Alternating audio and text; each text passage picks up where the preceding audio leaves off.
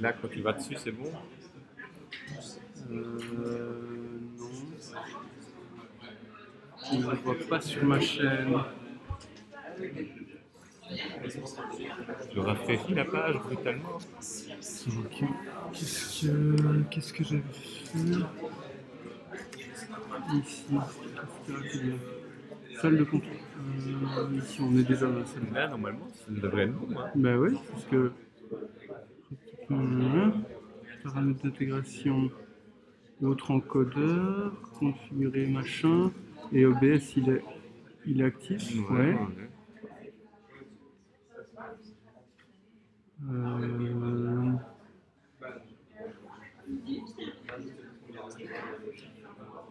Ah. Voilà, c'est bon. voilà. Et du coup, ici. Oh, c'est.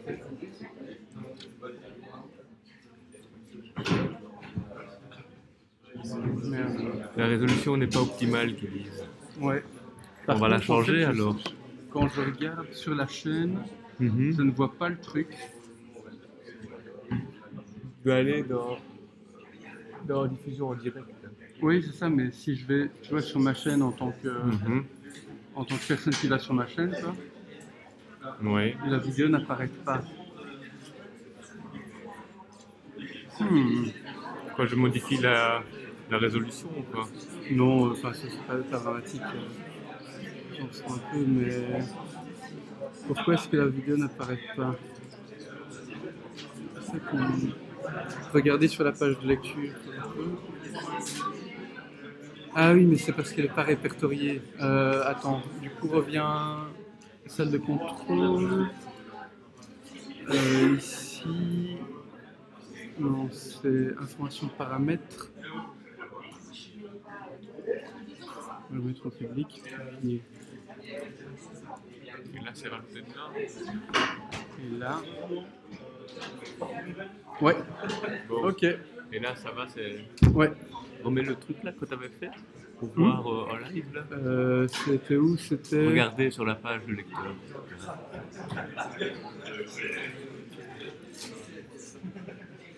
Ok, ça a l'air bien. Fais un peu au truc pour voir si ça va passer. Bon, tu vas te lever, on va voir si tu vas te lever. Si, pour voir si quoi va passer.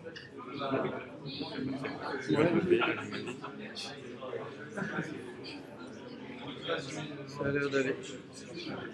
Euh, Il y a un décalage. Oui, oui, oui, mais ça. euh, Je vais peut-être. euh, Il y a moyen de diminuer la luminosité d'écran à fond? Oh, putain, c'est quelle technologie? Comme ça? Ouais, comme ça je ne vois plus. En fait, pour ne plus le voir. Parce que sinon, je. Enfin. Là, on a décalé encore un petit peu peut-être. Euh... Ouais. Comme ça, c'est bien. Euh, Euh, tu penses qu'il risque de.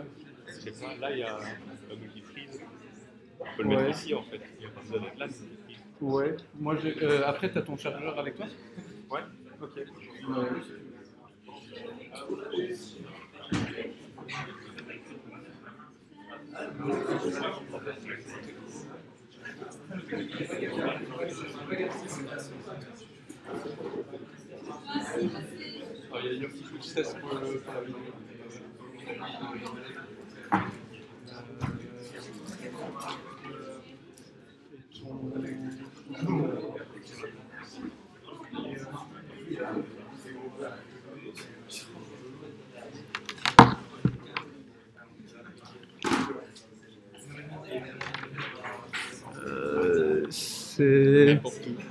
n'importe où et na- dans n'importe quel sens non. Si. C'est dingue. La technologie qui a un truc de fou.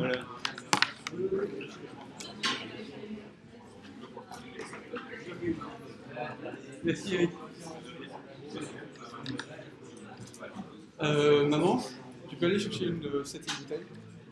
Une septième bouteille.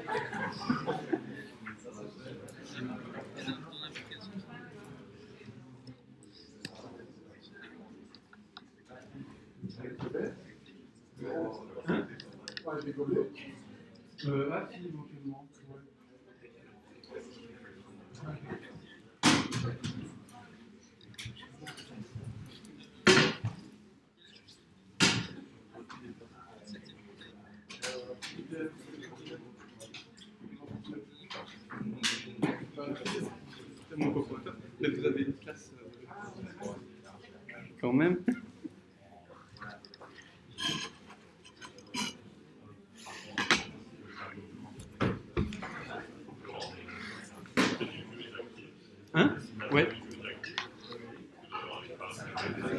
Ah ouais? Euh, Pourtant, si. Euh... Alexis Martin,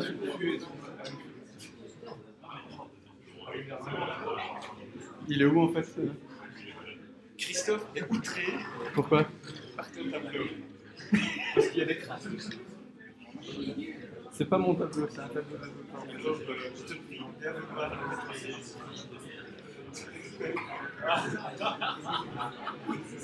Ça te va mieux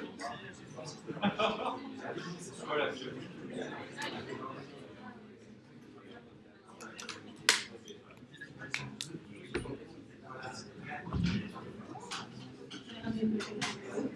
Hein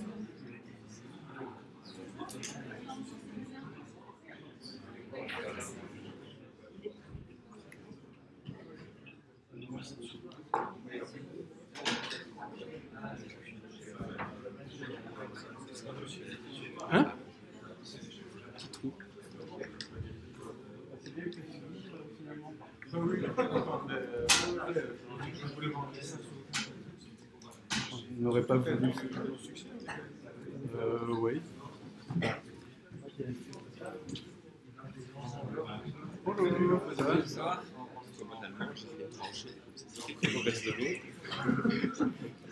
Effectivement.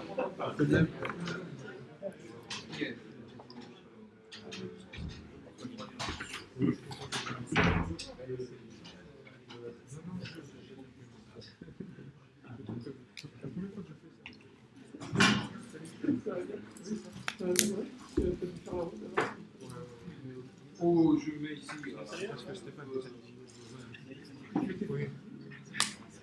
C'est tout depuis un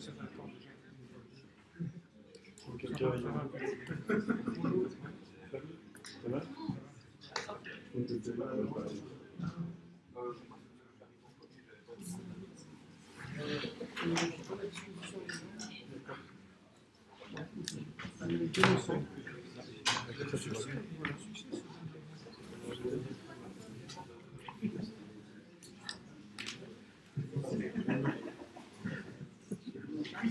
est en, fait en retard.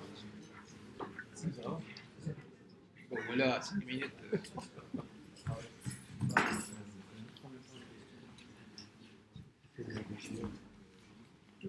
Je vais vous introduire. Oui. Oui. Non, enfin non. Uh,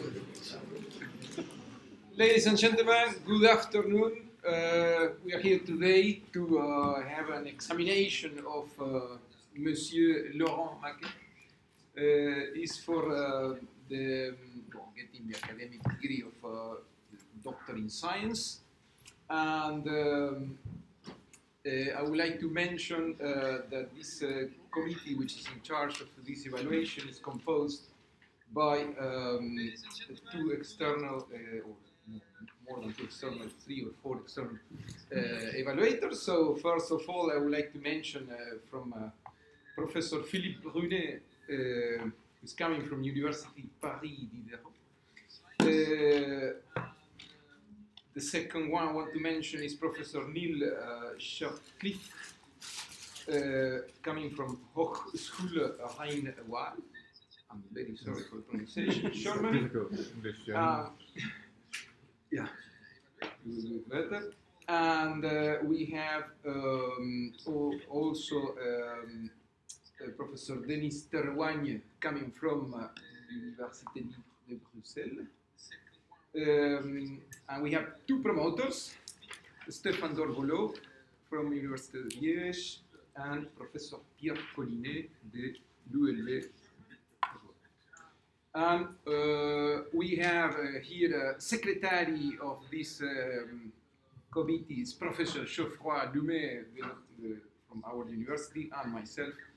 I'm Alejandro Silhanek, uh, uh, also from the Department of Physics here. So this defense will consist of 45 minutes presentation um, of the research and, um, and then we will pose questions. I mean, that's why we are all here and uh, following the tradition that those who are coming from the longest distance will start. So I will start with Professor Philippe Brunet. I will continue with uh, Professor Neil uh, um, I will ask you to turn off your telephones, so we will not, you know, um, make noise during the presentation, uh, and that's it. So um, I perhaps should repeat the same message in French. Um, um, yeah. Um, so, um, nous sommes ici aujourd'hui réunis pour euh, participer à l'examen euh, en vue de l'obtention des grades d'académie et en sciences de M. Laurent Maquet. bon, c'est une on va dire, une défense publique, vous le savez. Le comité chargé d'évaluer la, la, thèse euh, de M. Marquette est composé des évaluateurs externes, comme j'ai déjà mentionné, professeur Philippe Brunet, professeur Neil Schercliffe from Hochschule Germany. Euh, nous avons aussi euh, le professeur Denis Tarwagne qui vient de l'Université libre de Bruxelles. Euh, il y a deux promoteurs, euh, Stéphane Darvolo, Pierre Collinet et secrétaire, M. Euh, Geoffroy Lumet, et le président, c'est moi-même, euh. Donc on a 45 minutes de présentation, après on pose des questions, euh, pose des questions, et euh, voilà, on passe à délibérer. Je vous invite à attendre votre téléphone portable. Euh, monsieur Maquet, je vous laisse la parole. So, dear members of the jury, dear friends, dear colleagues, I'm very happy to present you today the work that I did during the four past years and that is entitled Leidenfrost Effect at its Limits. So before I enter in the core of this presentation, I have first to introduce the Leidenfrost effect and actually it's all about drops. So a drop may be uh, defined as a quantity of liquid that is neither too small nor too big. And that means that when it is falling in the air, it will, uh, the cohesion forces, what we call the surface tension forces, will be able to keep it uh, pretty much spherical. However, when it is deposited uh, on a substrate, you can, um, yeah, um, when it is deposited on a substrate, you can see that it gets the shape of a spherical cap. And that means that there is a large contact surface, and this large contact surface will result in adhesion. And when you will put some drops on this glass slide, you can see that the drops, there is adhesion with this plate. This is why we call this substrate hydrophilic, and it is by opposition to super to hydrophobic substrate and more than that to super hydrophobic substrate. Here the drop has quite the same volume as the one before, but you can see that the contact surface is highly reduced and it results in a much lower adhesion and friction. So this kind of sub substrates have, has been invented not by humans, but first by plants and in the world of plants, it's a convenient way to uh, avoid the addition of these drops that can contaminate the leaves, for example. This kind of substrate in the world of plants, as in the world of humans, is made by the same way.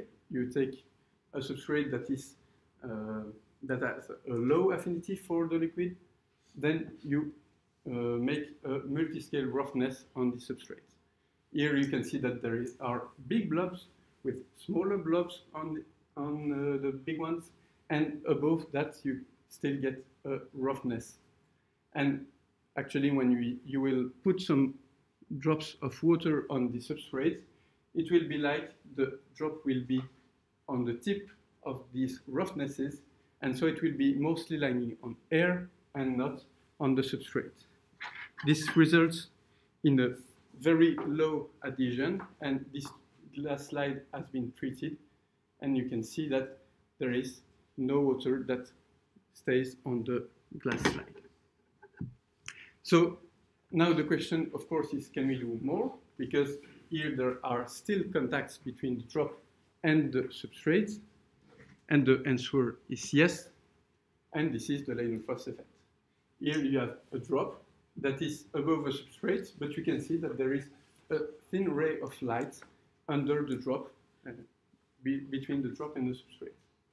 So uh, the first who observed this was uh, Leidenfrost, a pharmacist, and he just took a spoon, hit it with a candle, and put some drops in his spoon, and he observed that the drop seemed to have no adhesion with the spoon.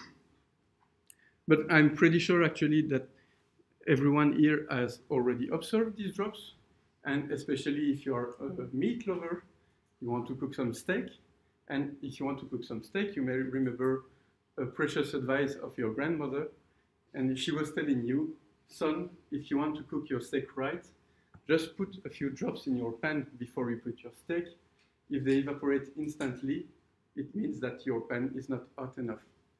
You wait a bit more, you put some other drops, and if they seem to roll on your pan, that means that you can put your steak and it will be cooked.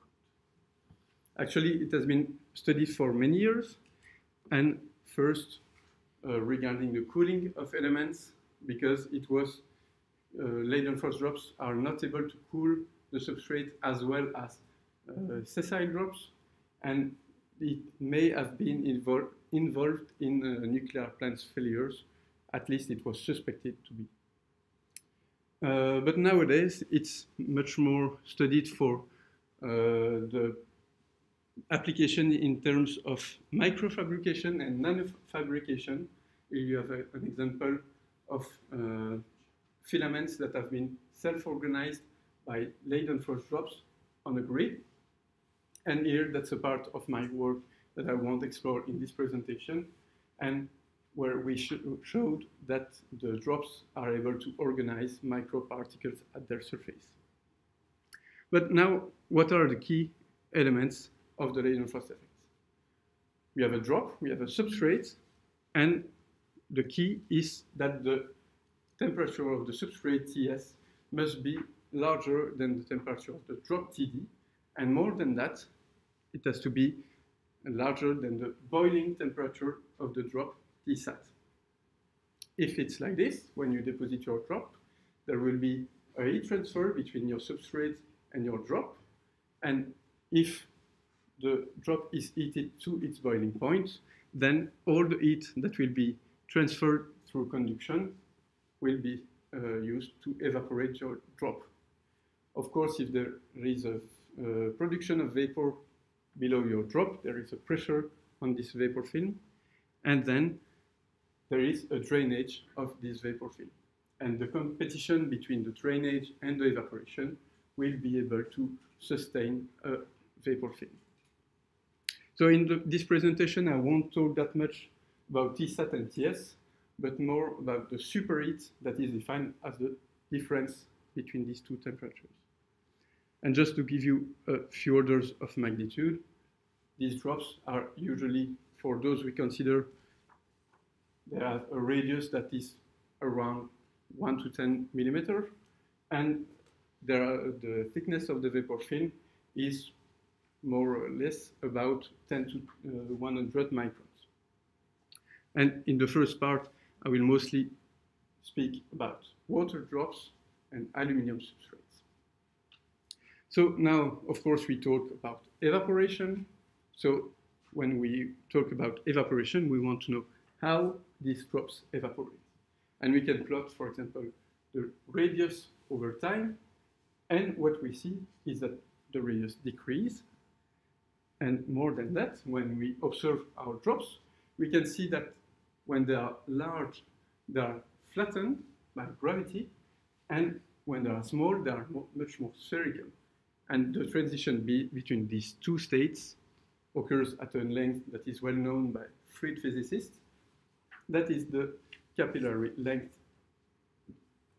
Um, and so there is two different regimes in geometry, and this will of course result in two different regimes of evaporation, and you can see that there are two different laws of evaporation uh, on this curve. These two laws, I just put them uh, just to notice that these, uh, these decreases of the radius are not linear, and you will see why it's important later.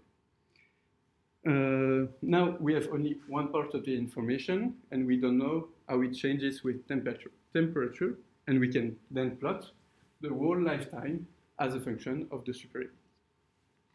That's what we do here, the lifetime of drops as a function of the superheat.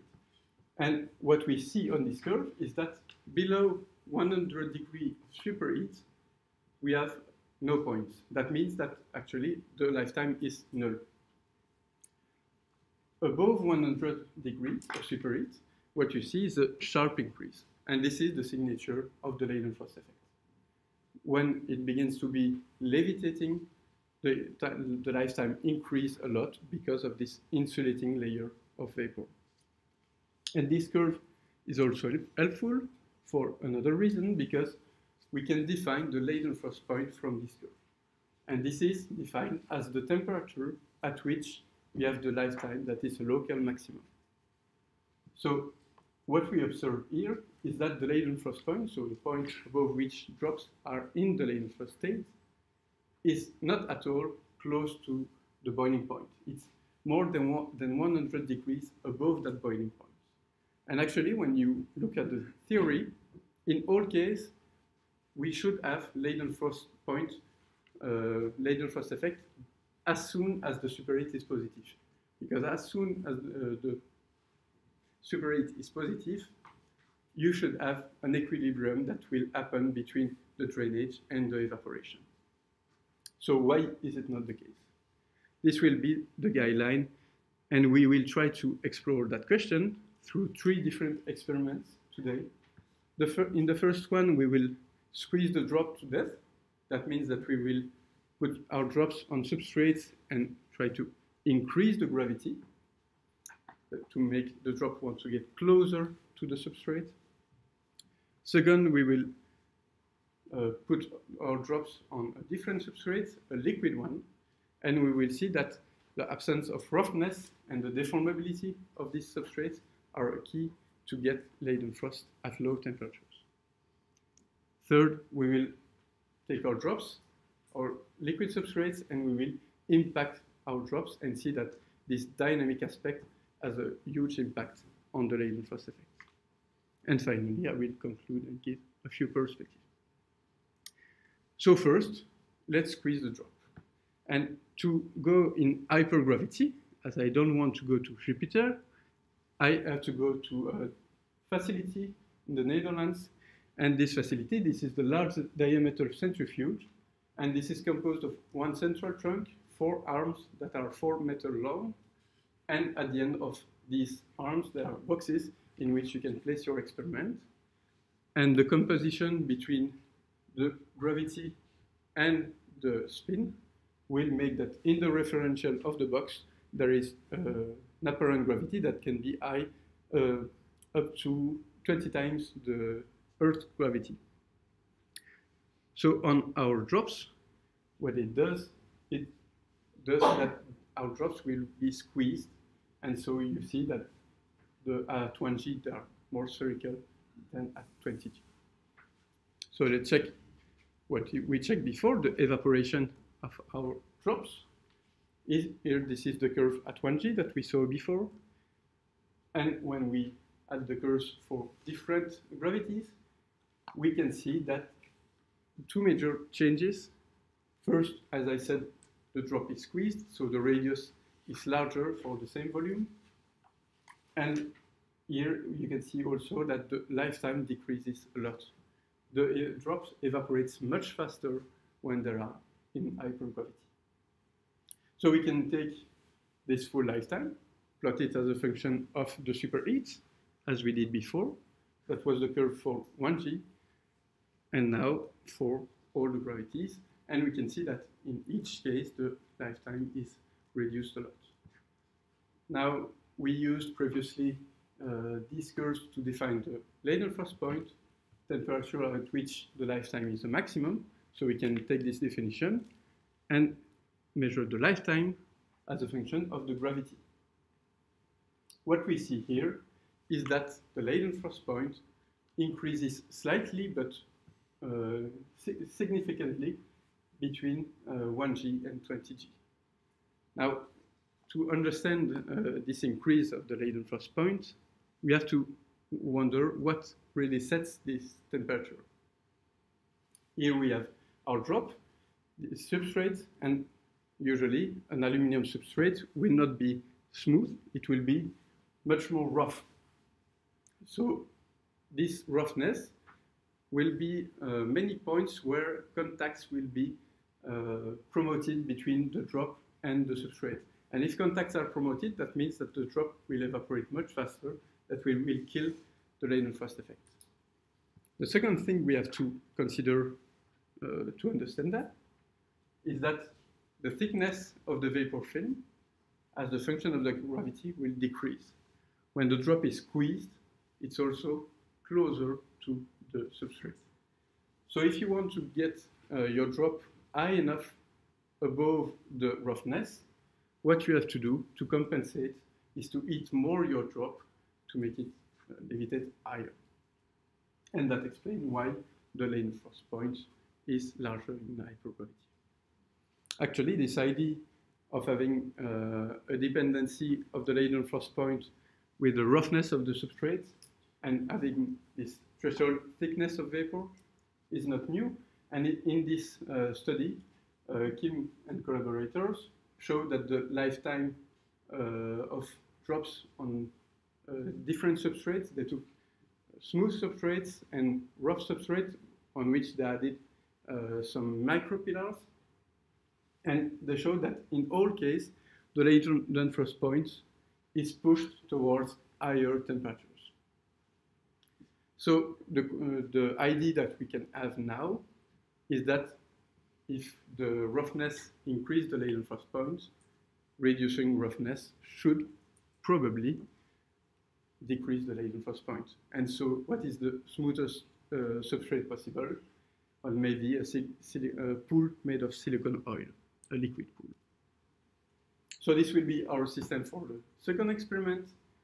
We will have an ethanol drop ethanol evaporates, uh, boils at uh, 78 de degrees, and uh, we will have a pool made of hot silicone oil, and this has the advantage that it boils at a large temperature, and that we can tune its viscosity for those we used between 0.1 and 100 millipascal second. So again, we can check the evaporation of our drops.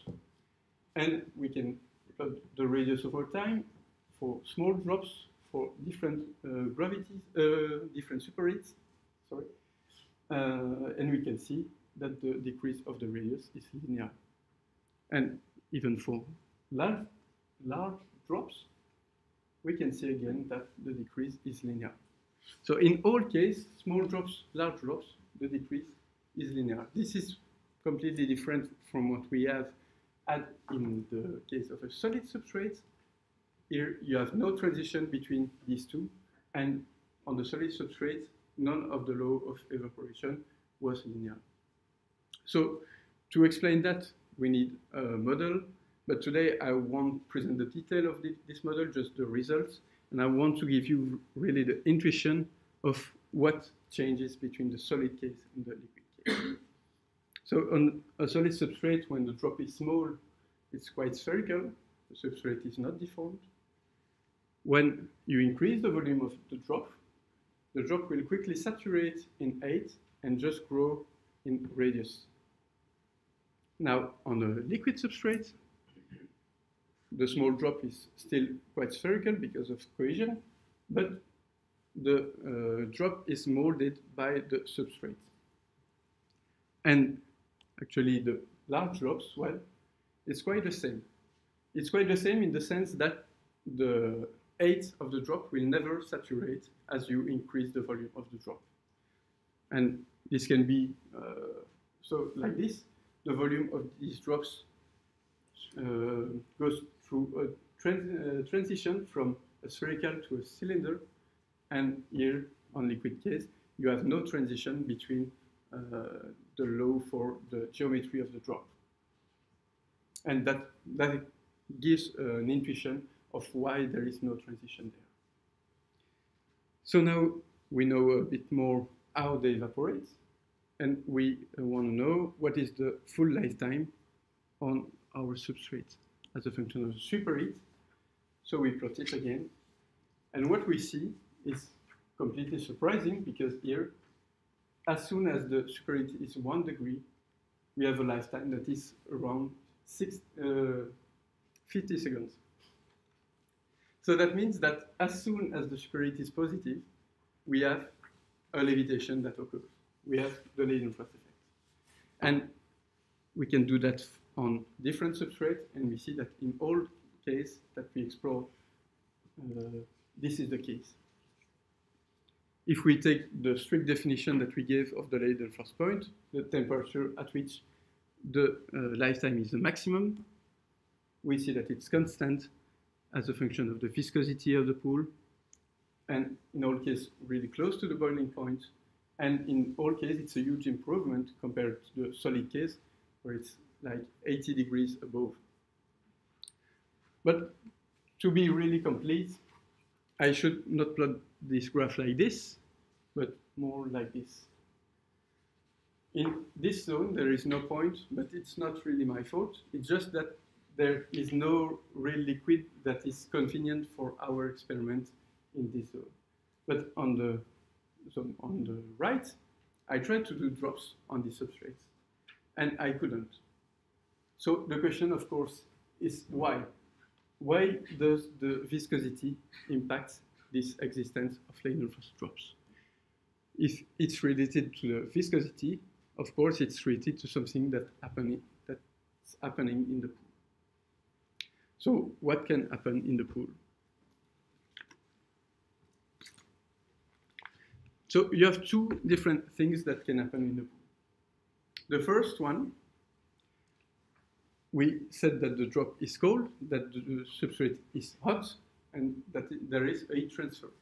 And if there is a heat transfer, there can possibly exist a cooling of your substrate. And if there is a cooling of your silicon oil, the density locally will increase. And if there is a local point with a higher density, it will result in a flow and this oil will sink to the bottom. And of course, we are in a closed cell, so all the oil that goes down must come back from the side. This is a case of the buoyancy-driven flow. For the second uh, thing that can happen, we have to zoom a little bit on the uh, vapor film. And this is the basis of the Leidenfrost effect. I told it. The drop evaporates. And so just like when you blow on your mug of coffee, the air you blow will entrain some flows in your mug, in your coffee. And here, the drop is just doing the same. It blows on your, the substrate, and so the air, the vapor that is blown will entrain some oil in the pool. And so again, we are in a closed cell. So if the oil goes on the side, it has to come back from below. So now we want to know which one of these uh, happen. And to do that, we use the particle image velocimetry technique. In this technique, you just watch at your pool from the side, you use a laser that produces a laser sheet under the drop. You put some particles in the, the fluid, and you will be able to see them uh, thanks to the laser, and uh, you will be able to see their movements and reconstruct the velocity field. So here we go on ethanol drops. The velocity field looks like this.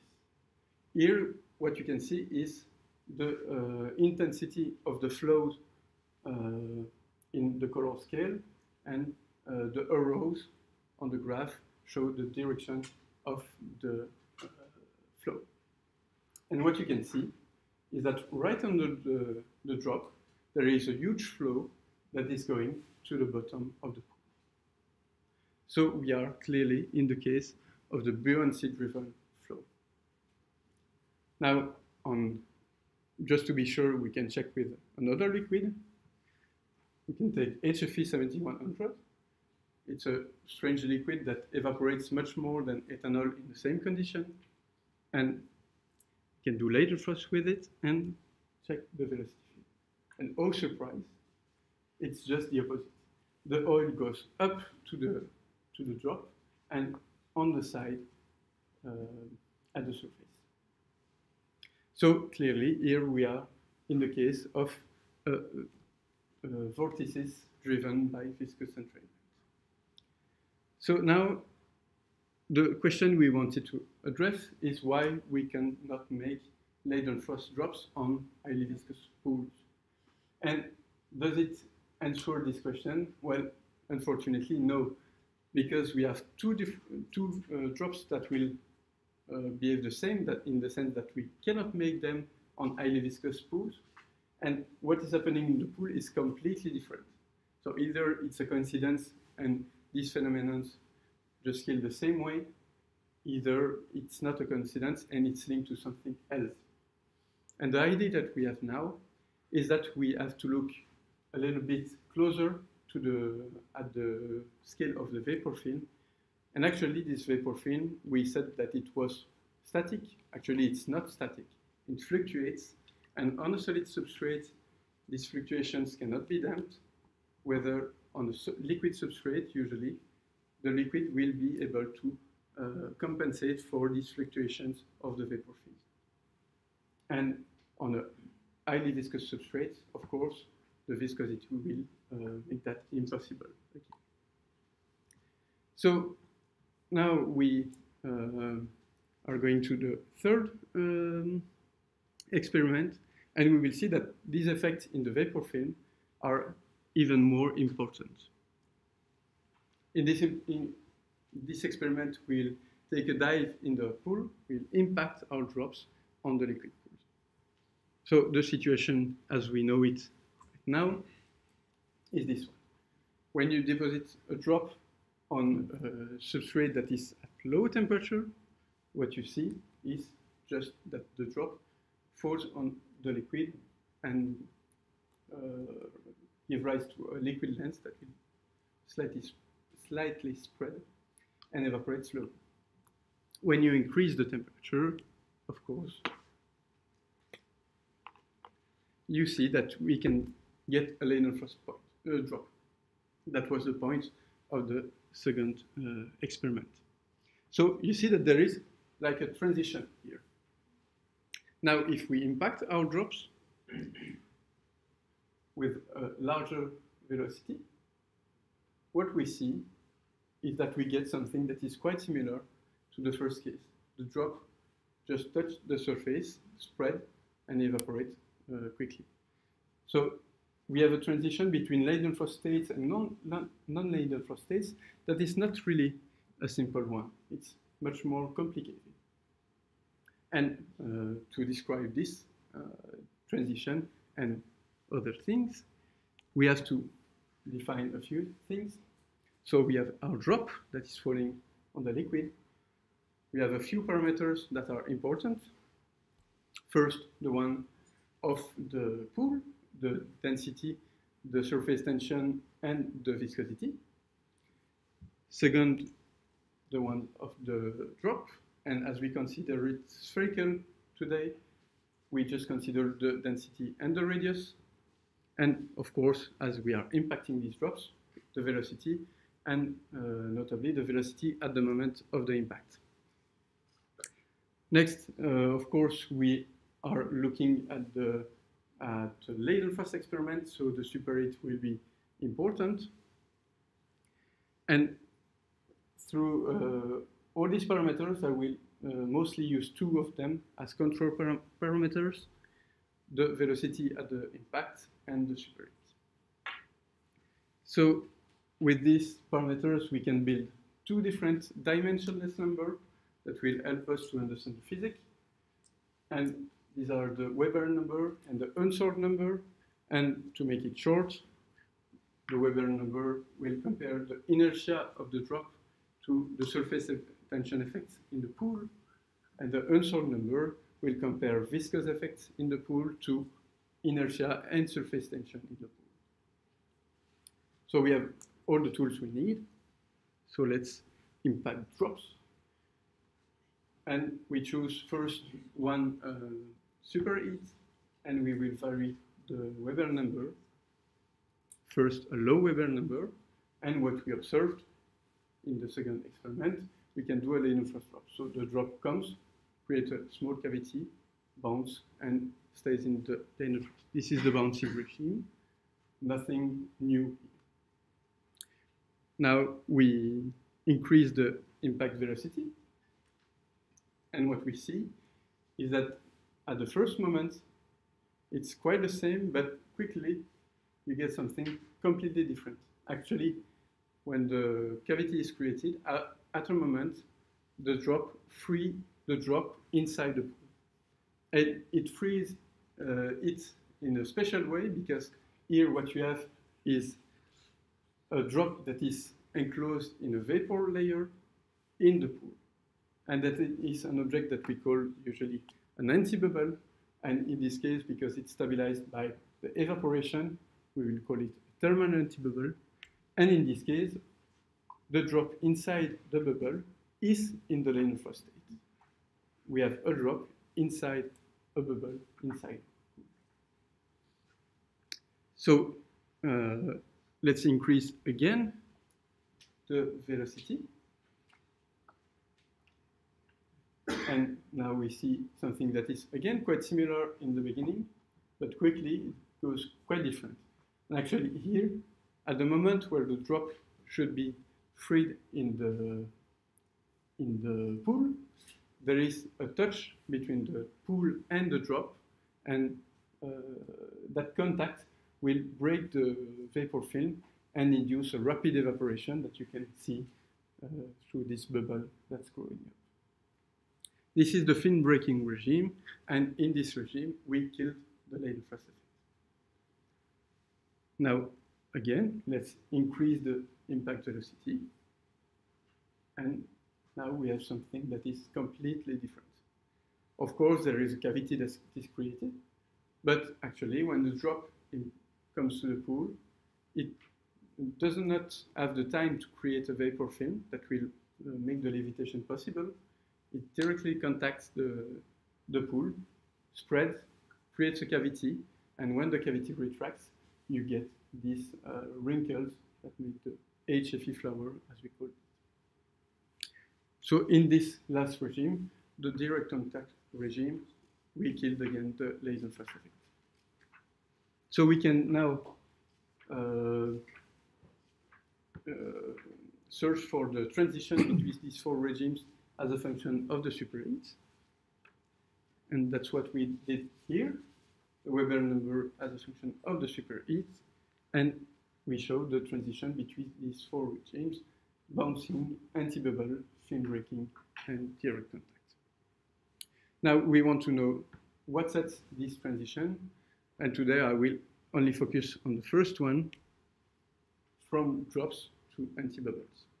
And let's just check again what's happening. There is a creation of cavity, and at a moment, the pool and the cavity pinches off above the drop.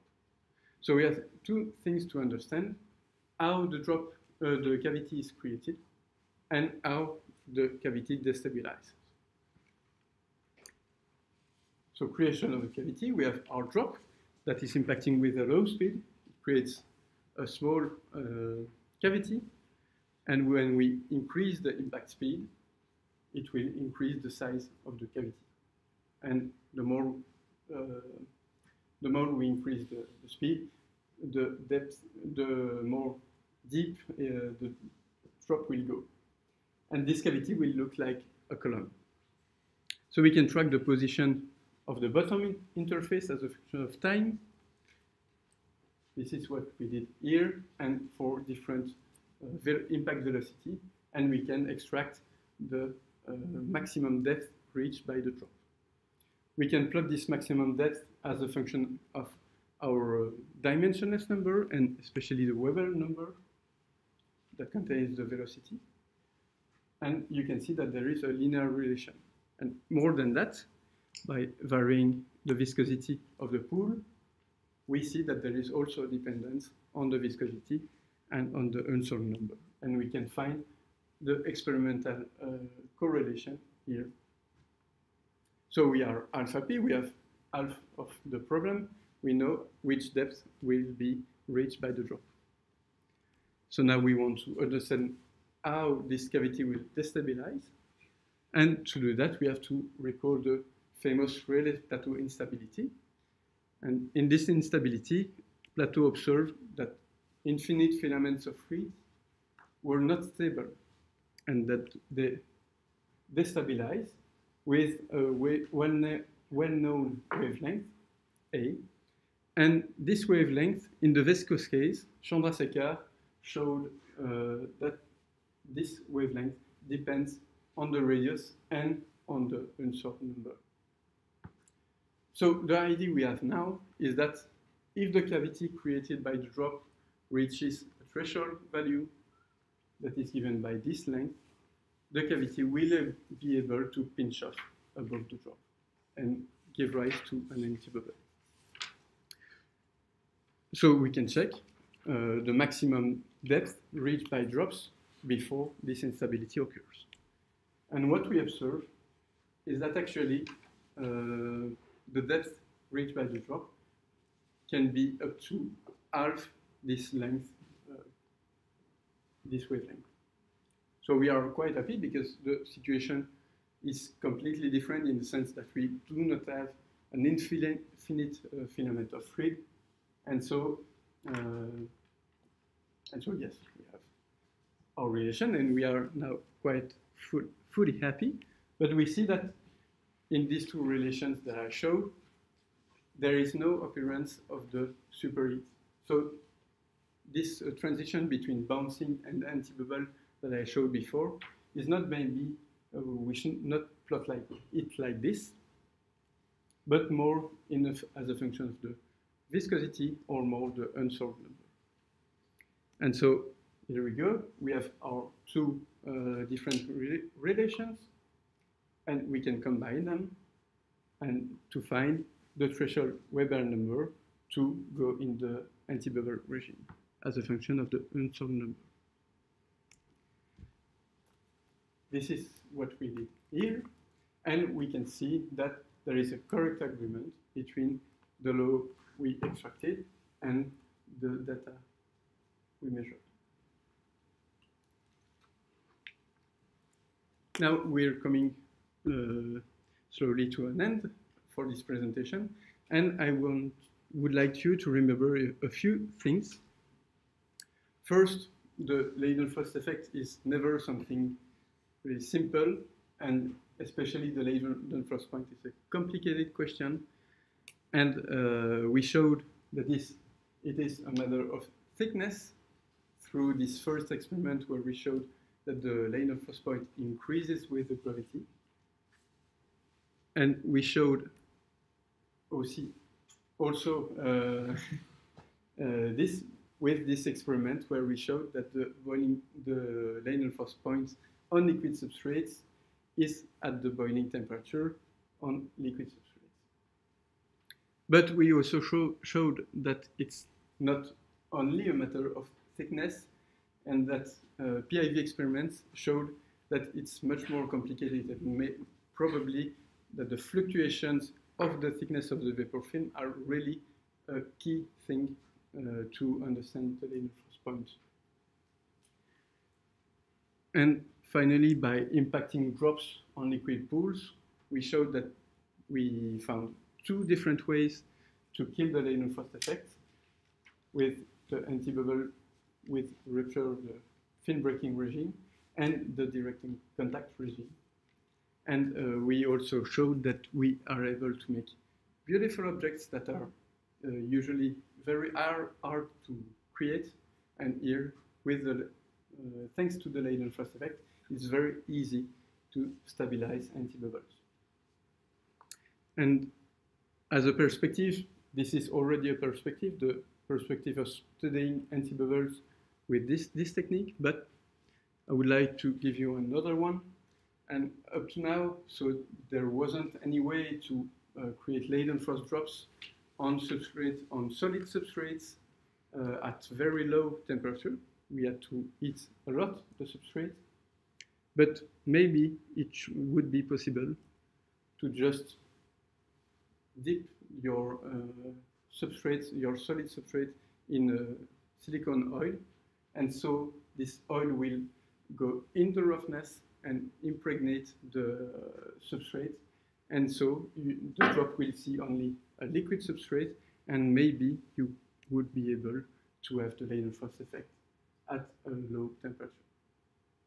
And finally, uh, last but not least, I would like you to remember that even though science is sometimes a bit difficult, it produces many beautiful things and it only adds beauty to the world. And for this, I think we can call it an art. Thank you.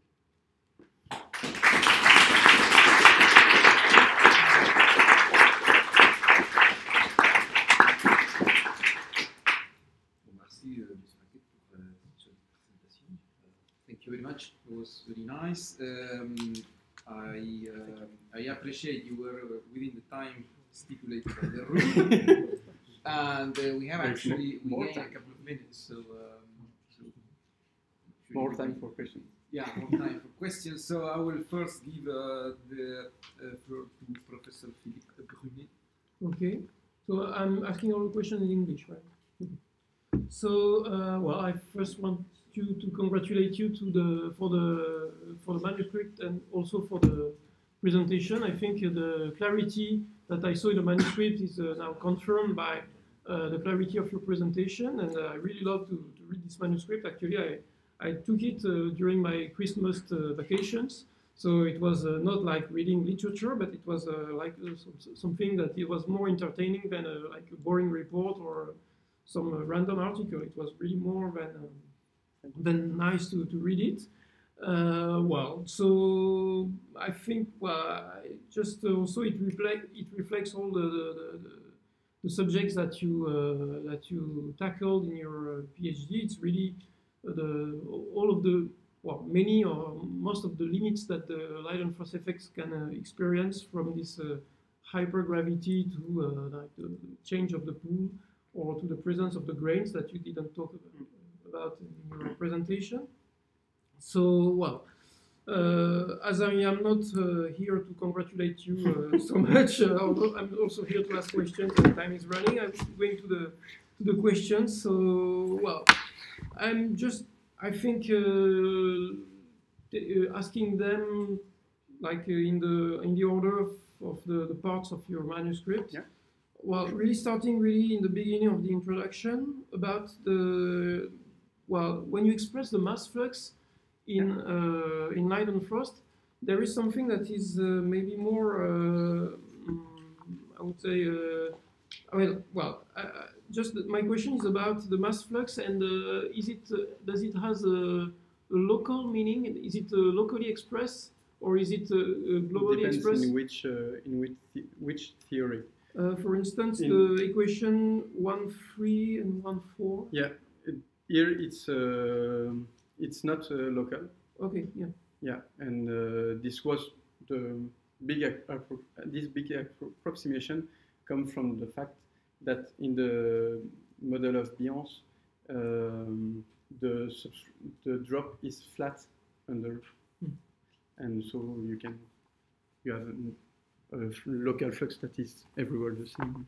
Okay. Yes, uh, because afterwards you indicate that uh, H uh, uh, can really uh, change very much in uh, your droplet profile, Yeah. and of course H is very much involved in the evaporation flux. Yeah. So the yeah, the, I just was wondering if the the Leidenfrost point sometimes can be expressed as a criterion that is only valid uh, uh, that, that can be expressed only as a criterion in uh, when where H is minimal, for instance in Yeah. the, the In the- neck or the I don't know how do you call it, but Yeah, the neck. the nip or uh, where really the, the, the vapor is uh, very much squeezed between Yeah. the substrate and the liquid. And actually, uh, this is why here, when I told in the uh, hypergravity experiment, I told about the thickness of the vapor film. It was the uh, thickness at the at the neck, Okay. of course. Yes. And this is clearly the place where contacts will be promoted more easily.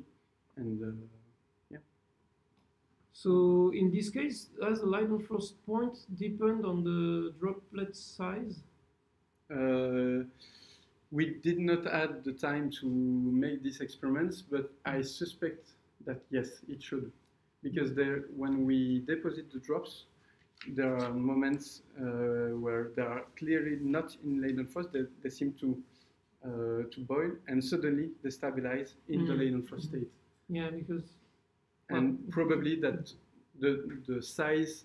Um, when the drop is larger, usually it's uh, a bit, uh, the thickness is a bit larger, but also I think that as it is larger, there are much more fluctuations of the thickness of the vapor film. And I think that's the reason why. Okay.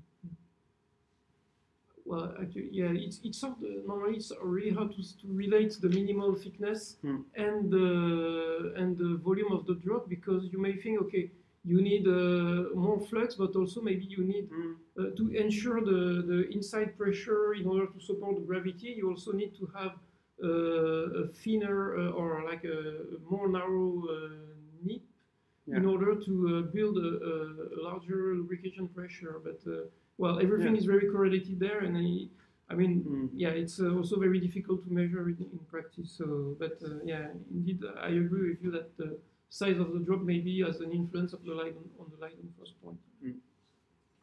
So yes, about the part two, I really love so much the experiment. I mean, we, we talked uh, during the, the lunch with uh, the- Denis about uh, that uh, our kind of physics is uh, really related to small scale Mm. experiments and small scale device. You have the proof here that uh, you can use a large scale uh, setups to uh, tackle small scale uh, Yeah. uh, physics. Well, that uh, these uh, very big devices are not uh, just uh, for uh, particle particle Mm. physics or astronomy. Astronomy. But uh, well, I was just wondering, how did you tackle the issues of reproducibility? For instance, how uh, how can you really deposit the drop on this very complicated uh, box Yeah. in the same way uh, every time? Actually, we had a, um, a pipe that was going with uh, like a needle at its end and a syringe pump that was just injecting the same volume uh, at each uh, experiment. Okay. Mm, yeah, we didn't change anything to the geometry of how we were depositing the drop or something like this during the experiment.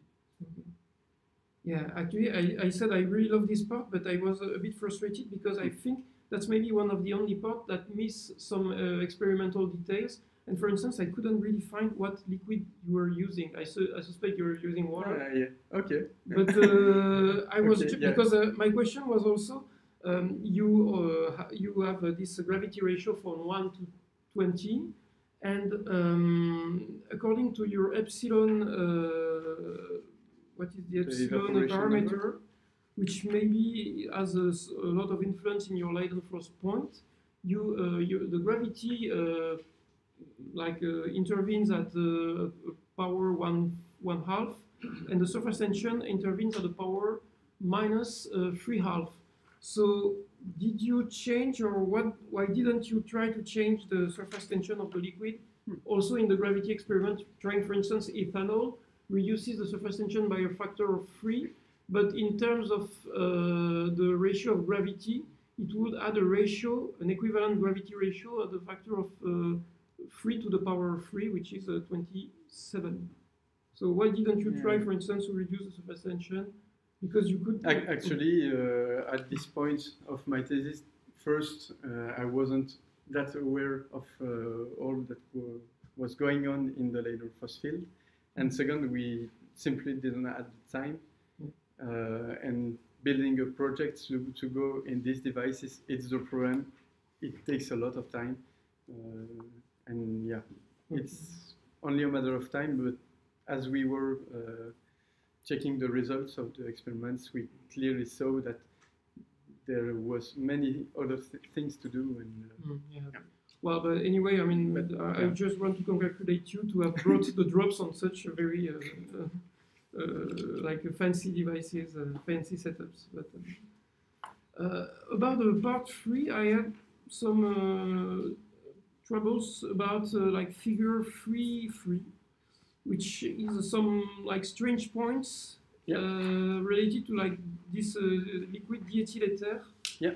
uh, where you have the lifetime, which is almost sometimes equal to uh, one or a couple of seconds. Yeah. In this case, is it, isn't it just uh, explosive boiling? Uh, it is uh, Okay. actually it's well. This is a, the, a complicated problem, uh, but because I think that when you deposit your drop, there are ma- many things, as we saw in the part where we impact the drops, and trying to deposit it with the no initial speed is really complicated sometimes, and also the condition in which uh, we make the experiment uh, I remember that we were trying to confine the drops wi- within a small ring to be mhm. ab- able to observe them. And uh, actually, this ring was a destabilizing uh, effect. Mm. Okay. And we never really understood why, but maybe it may be related to the uh, the flows that in the pool that may be uh, inhibited by the presence of this ring, this small ring around the drop. Um, okay, well, because afterwards uh, you said that you could extract some uh, Leidenfrost point from this data, Yeah. which I think were pretty scattered, but uh, Mm. maybe it was also um, uh, all, all the points all together with different conditions, which Mm. maybe uh, shadows uh, some trends. I, I don't know. Uh, Actually, the idea is that the points where uh, the drop quickly contacts the, the, the pool are points that are uh, induced by uh, external perturbations and okay. stuff like that. So the larger points, larger lifetime that you can get is really reproducible. Uh, the curve is Hmm. slightly Okay. uh, more or less continuous. So we can expect that this is made by something that is uh, reliable. Do you observe a maximum in the curve? A maximum in the lifetime? Uh, well, yeah. It looks flat. It's rather Yeah, flat. it's ra- rather flat, but there, well, there is a maximum in the case of the curve that is in uh, figure 3.3. there is a maximum. maximum at 26. There is always a maximum. There is is, always a, a yeah, there is always maximum. So here, yeah. Is it accurate enough? But uh, do you have, a, if I may jump on this question, uh, you have an, I don't know if it's allowed in the edge to jump on questions. Or, or, Well, I, I, uh, I'm fine. I'm perfectly fine. With, Paris, uh, I'm perfectly fine. um, so yeah, how did you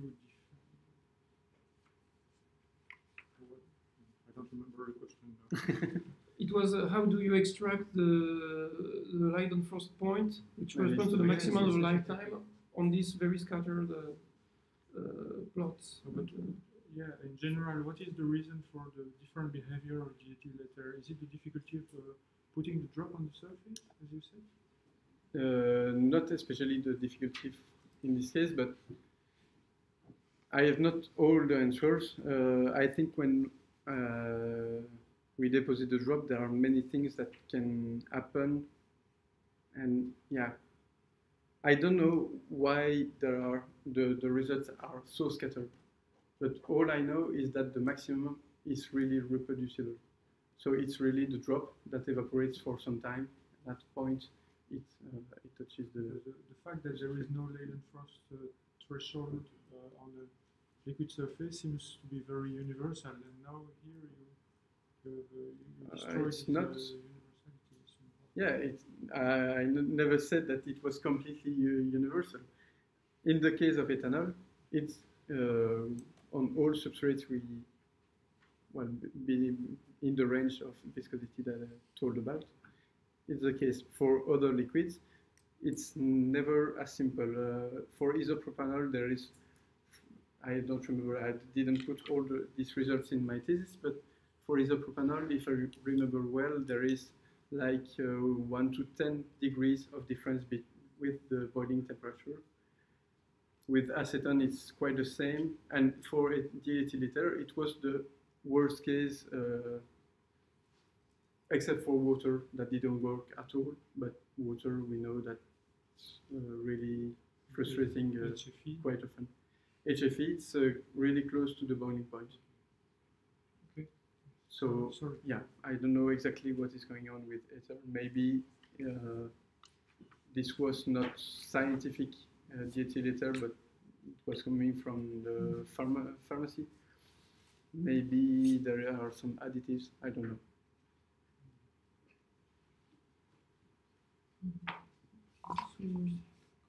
So for the part four of shaken drops, Yep. Um, so I think, uh, well, I have just, uh, well, I, I, I have some uh, like remembrance of uh, the, the droplets that were vibrated on a liquid pool and show Hmm. these very uh, like uh, very nice regimes where they are coupled to the own to their own wave they produce at the surface of the film.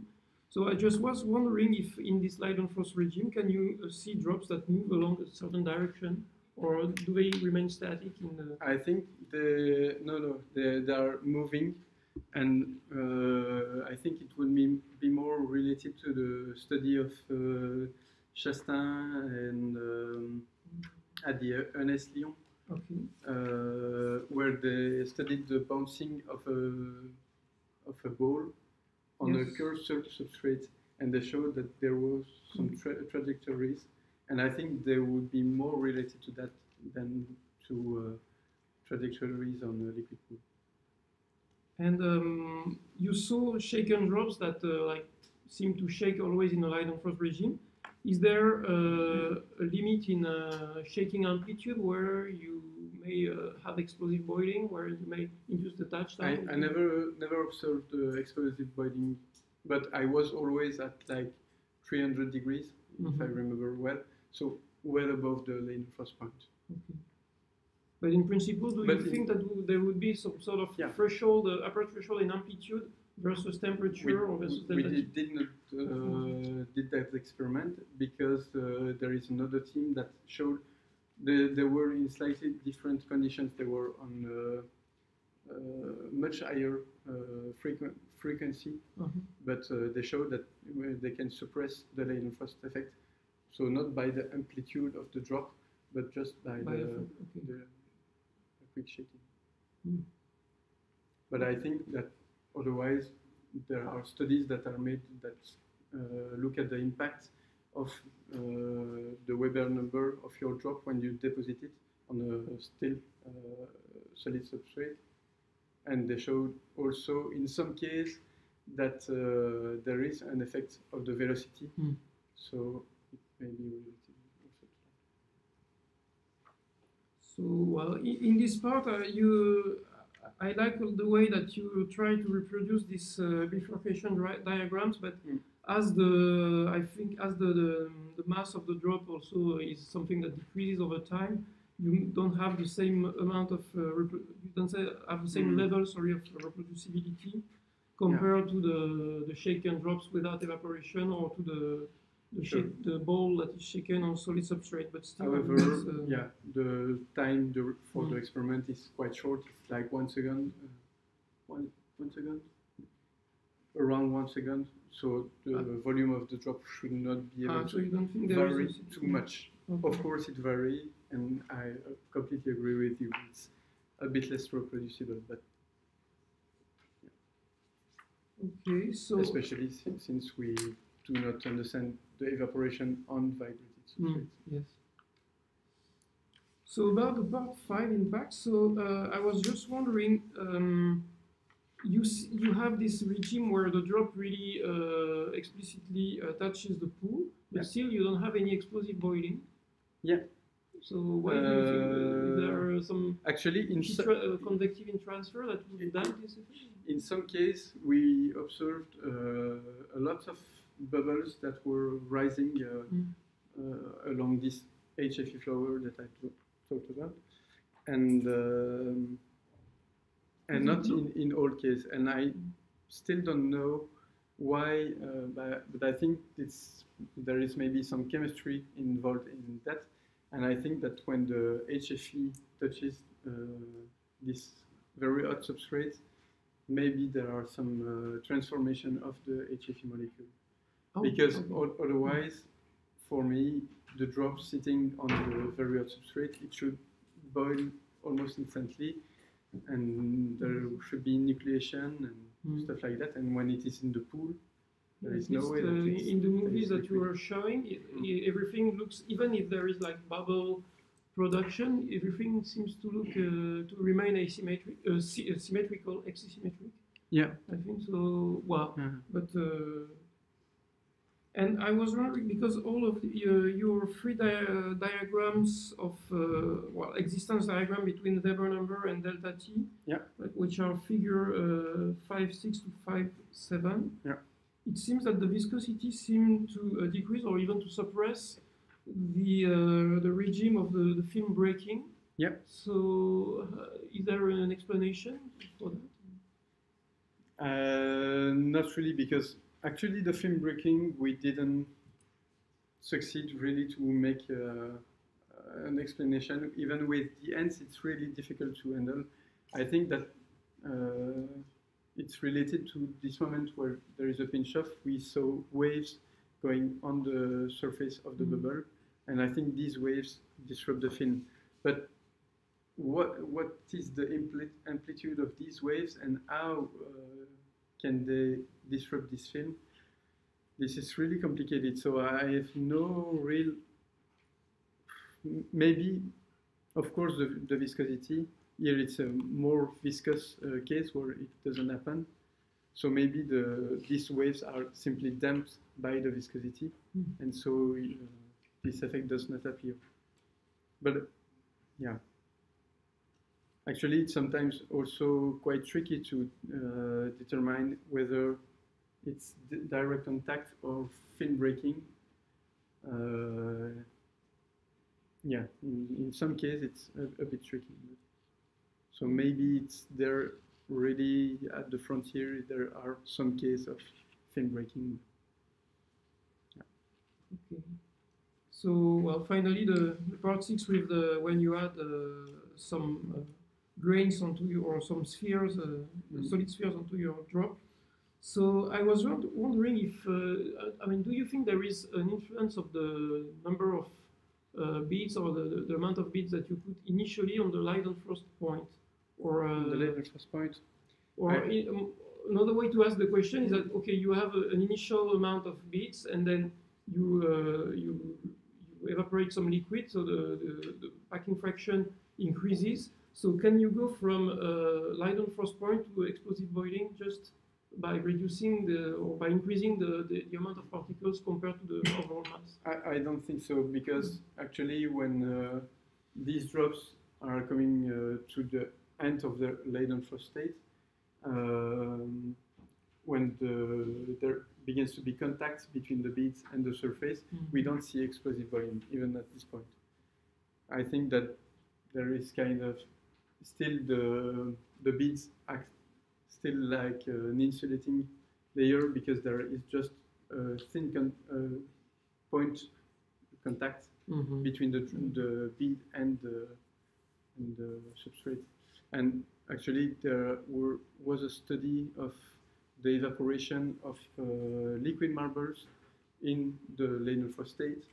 So it was a, a bit uh, strange, uh, but they showed that uh, uh, there was no transition between uh, in the lifetime, the curve of the lifetime. The lifetime was decreasing just slowly, just like these grains in the liquid marble were already acting as an insulating layer, and that there was no transition to this boiling, uh, nucleated boiling uh, state. Okay.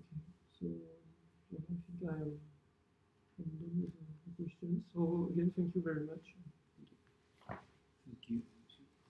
Uh, now the time. So So I'm the next victim, I think. Um, so, uh, so I won't do the same introduction because we'll take too long. Um, but uh, I think uh, your talk um, gave a, a really good explanation of why the pieces, the different pieces of your thesis, are actually connected together. Mm. Um, it was a, possibly a little bit more difficult to do it to see that on Yeah. reading it, but the talk did a very good job of doing that. Um, I have did have questions in order, but I kind of messed them up, um, so I'll try.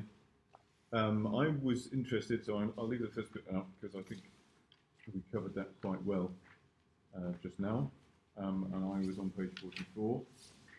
Um, you have a difference between, you have a theory for how, just for the other people, you, you have a theory for the shape of the drop Yeah. in it, um, on a pool of liquid. Yeah. Um, and you measured the, the depth of something, which I assumed was the lowest point Lowest point, yeah. which is the surface of the bottom liquid and not the surface of the top liquid. Um, and it was lower than the theory. Yeah.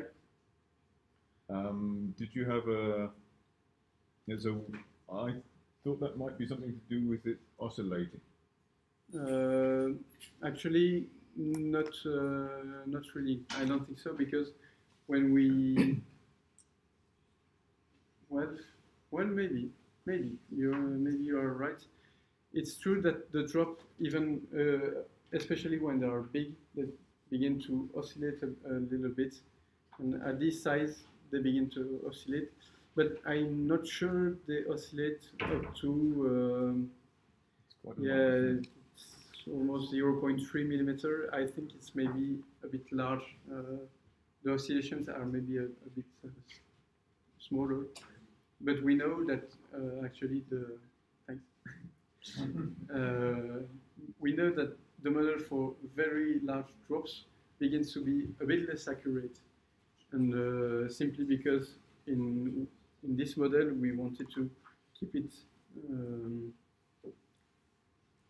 not so complicated and yeah and so there, there are approximations that we know that are less valid for very large drops such as the uh, the fact that we do not take the projection of the uh, the speed in the vapor film uh, there are a few few things uh, that are less valid for large drops. So. I think oscillations and that make the difference. Um, what I was interested in by that, particularly by that graph, is that you, I think, that uh, at some height, at some size of drop, your simulation suggests that the top of the drop is below the top of the pool. So um, E center is Yeah. larger, more negative than R, Uh, at the, the, the center, yeah. Which Yeah. would suggest to me that that should be a curve and not a straight line, which it doesn't look to be. Yeah. This, this Ah. Uh, in that uh, it shouldn't be a straight line because it's never going to pass. uh, let's see. yeah. Hmm. Yeah. I think at a point this line breaks. Uh, actually, I think the, the end of this Leidenfrost effect when the drop begins too too big is quite dramatic. It's like a transition from uh, zero to one. Uh, and I, yeah, I think the, the, the model is just no, not valid anymore in, in any point when the drop uh, is too too low. Yeah, Um, except, I'm sorry to carry on on this thing because what, what interested me was that one of your drops, hang on, I've lost it. Mhm. I made a note somewhere. It was on the same page somewhere. Yeah. You managed to make an ethanol drop that's about twice as big as the simulation said that you could make it. Uh, yeah, the, but this is not the, the end of the simulation actually. The this can go quite. Uh, Oh, because it's below the surface of the pool. So you No, but imagine it would a- sink. a- actually, here the the sim- simulation are not a problem. Uh, well, um, it's just a matter of expression. Um, actually, simulation does not make impossible drops of ethanol that are six millimeter of radius. Uh, it's completely possible. I, I don't, do not remember the size of the ethanol drops that are not uh, that cannot be levitated, but it's above that. Okay, I read. I must have read it differently. I had it about the, the simulation. It doesn't matter because simulations often have things like that. But the simulation predicted about half of what you got. Um, was what I managed to see. Uh, actually, the the largest drops experimentally was eight millimeters uh, of radius, and I don't remember what was the limit of the simulations, but it was uh, well above that. uh.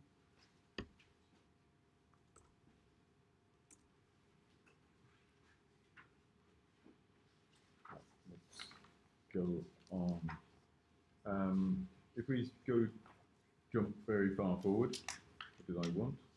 Ah, yes. When you looked at the lifetime, you um, added a, effectively a constant for the drop, the rest of the drop Yeah. on the top, um, which seemed logically very sensible.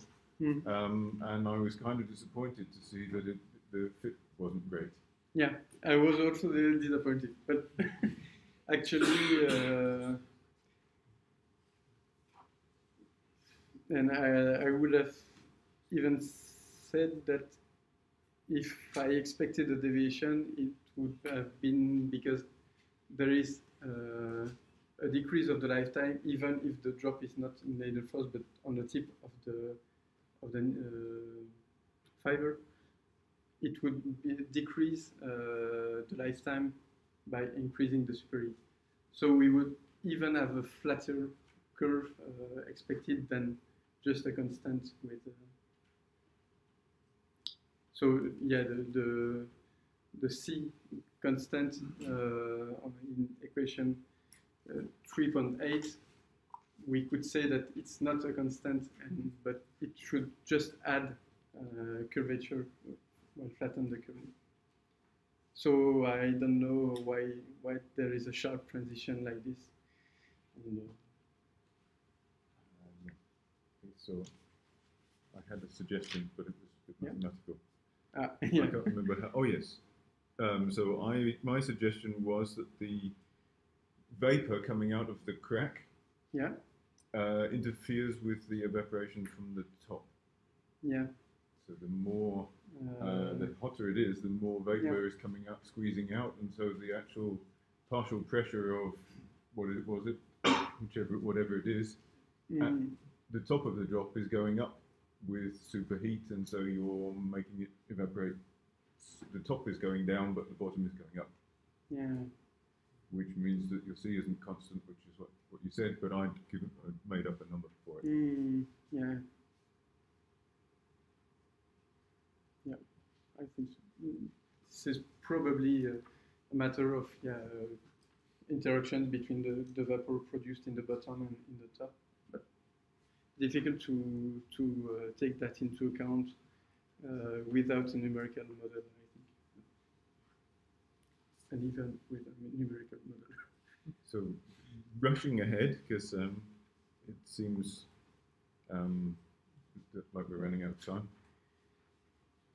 The if we when you did your particle velocity, Yeah. velocity, what is it? Particle imaging velocity, Uh, PIV. particle image velocimetry.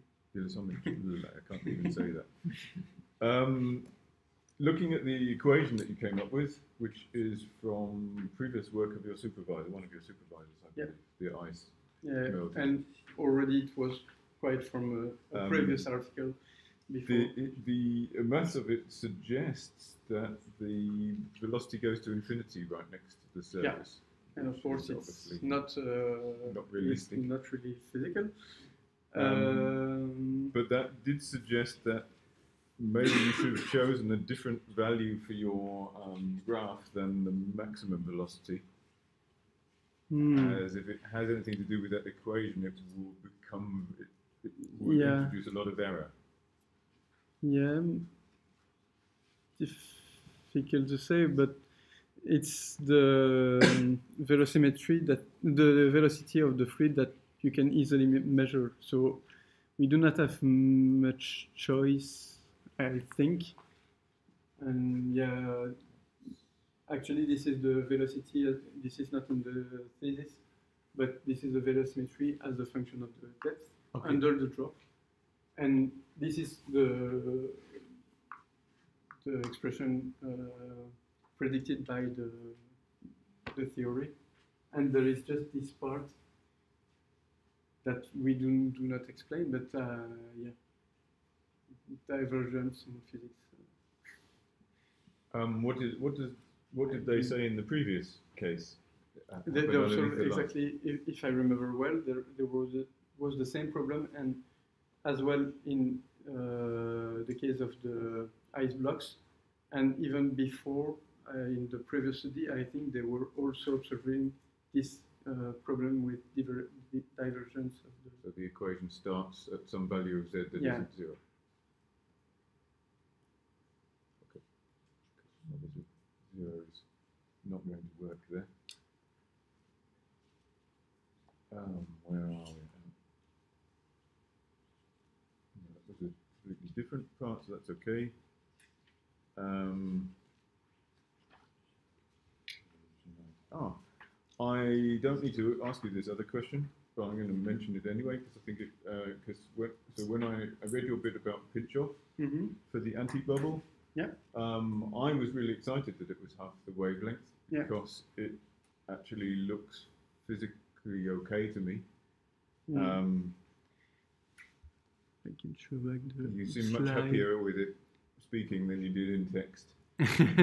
you seem very uh, yeah. unhappy that it was half of uh, half a wavelength, but I'm Uh, it's difficult to to really make a, a f- a feeling about this factor one half because the situation is different in the fact that the, this is not an infinite filament and also because we have the internal fluid that is the light one and the external fluid that is the dense uh, the more dense Yeah, so the viscous correction should be different because the, Yeah. the viscous liquid is outside the cylinder. Mm.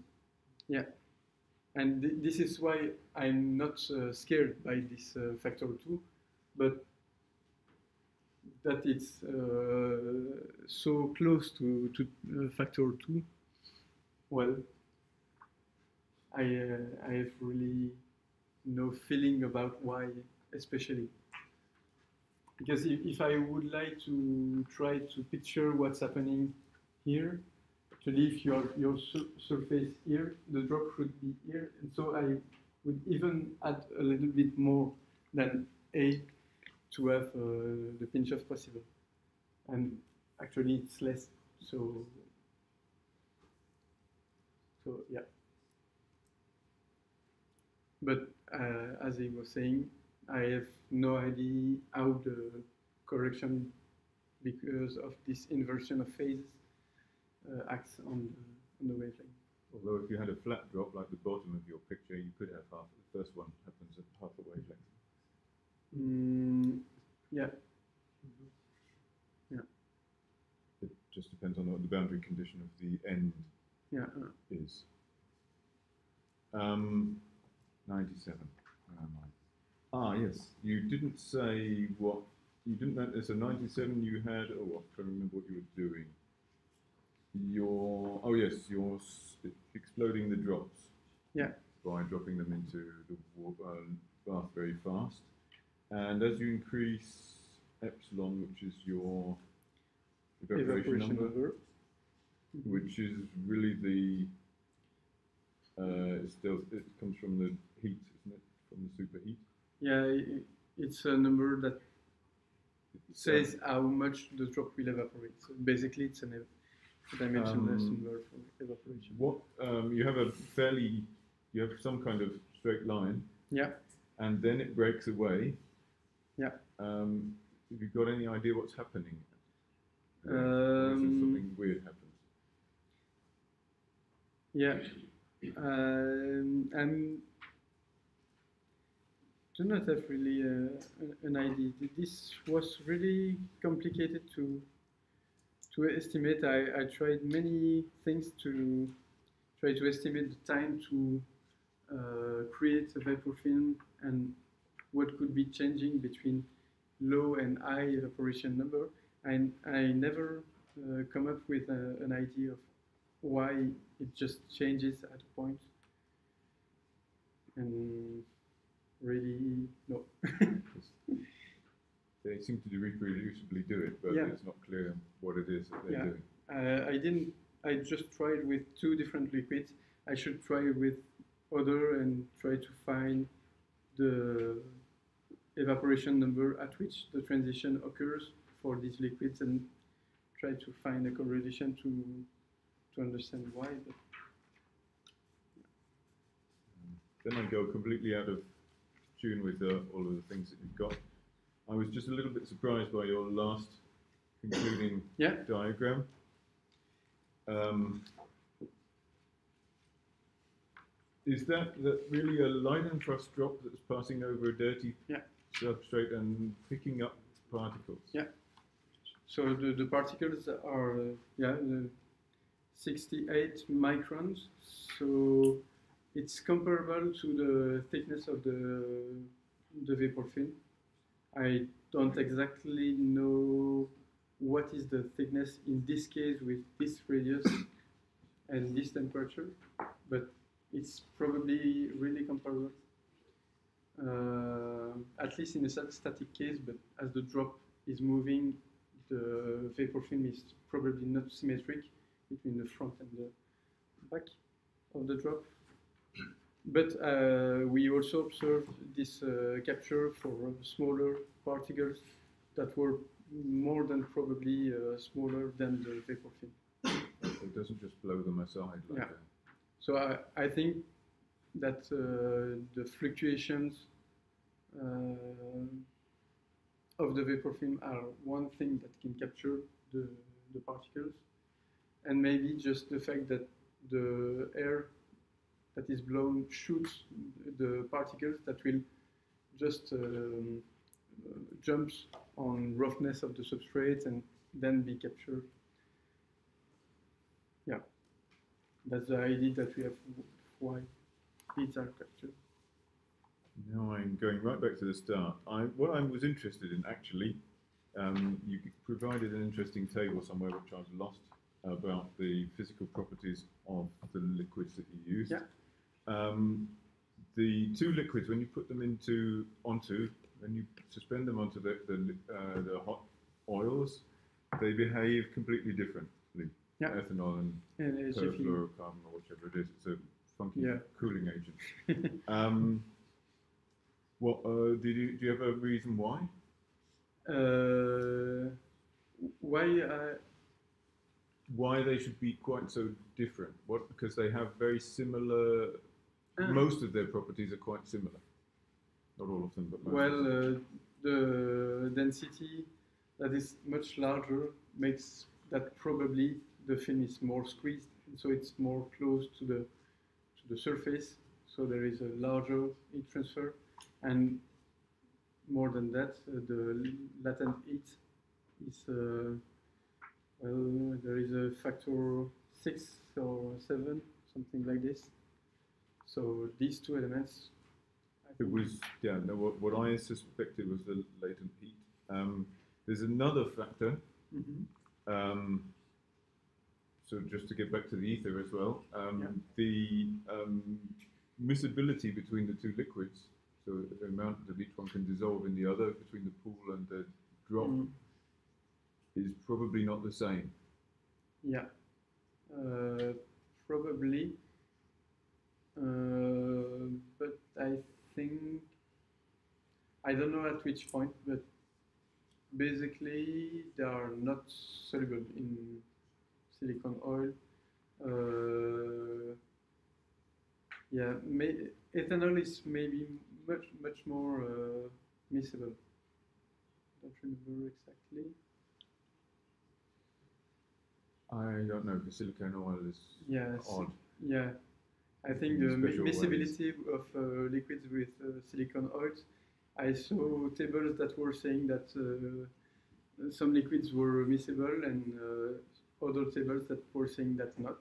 So, yeah, miscibility is something that I didn't really look at. Even though I tried to do uh, Leidenfrost effect with uh, mis- really miscible liquids, and I couldn't. So that I don't know exactly what is the role of miscibility, but there is a, certainly a role. May, maybe the fact that um, maybe it's not really related to the miscibility, but to the fact that the um, uh, silicone oil is really really smooth, where the other liquids have I don't don't know how to express that. But I think the the frontier between the gas phase and the liquid phase is mm, uh, really well settled in the case of silicone oil. A bit less, it's a bit more trouble uh, on liquid like uh, like these ones. So maybe it's not a question of miscibility, but Um, I'm going nowhere.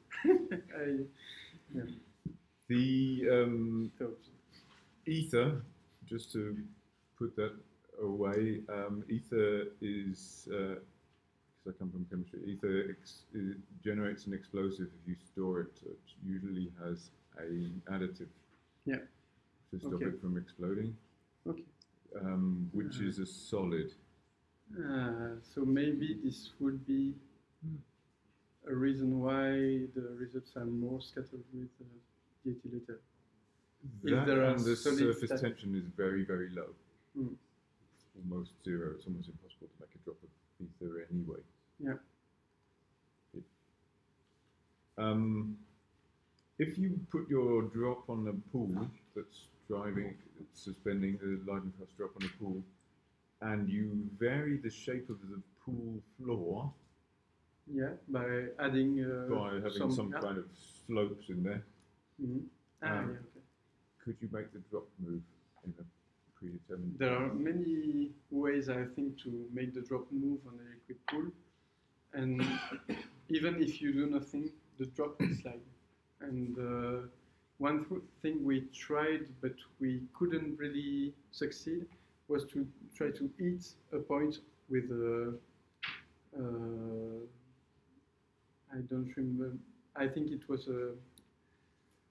I don't know how to say it in uh, English. Uh, fer à souder, uh, well, a really hot uh, point in the liqui- liquid to drive. So maybe a Marangoni flow at the surface, and uh, we couldn't really influence the, the movement of the of the drop. So I think the basic movements of the drop, even if you do nothing, are pretty strong uh, to disturb.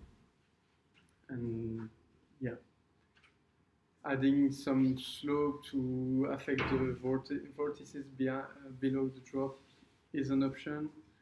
Uh, yeah, and just putting some flows in the liquid would be. Uh, but th- there is a, a study of Marie Le Merrer who looks at the the drag uh, of the of the drop that is going on the liquid pool, and I think that would be the uh, the dri- driving force if you try to uh, induce a flow in your liquid pool.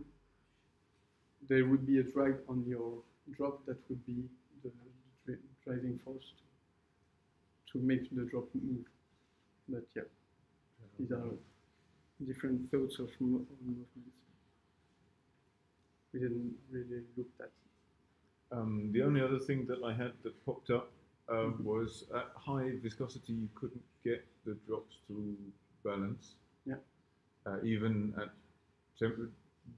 even at overheats that or superheats you call them superheats that would work on a solid. Yeah, uh, yeah. Uh, has that got anything to do with heat conduction? Um, um, it could be, but not really because the, the problem you talk about heat conduction in the pool. in Right. the pool that you Yeah. locally cool the pool. The, the problem is that uh, the heat conduction itself cannot uh, be sufficient because if your uh, substrate cools down, it can cool down up to the boiling point at best.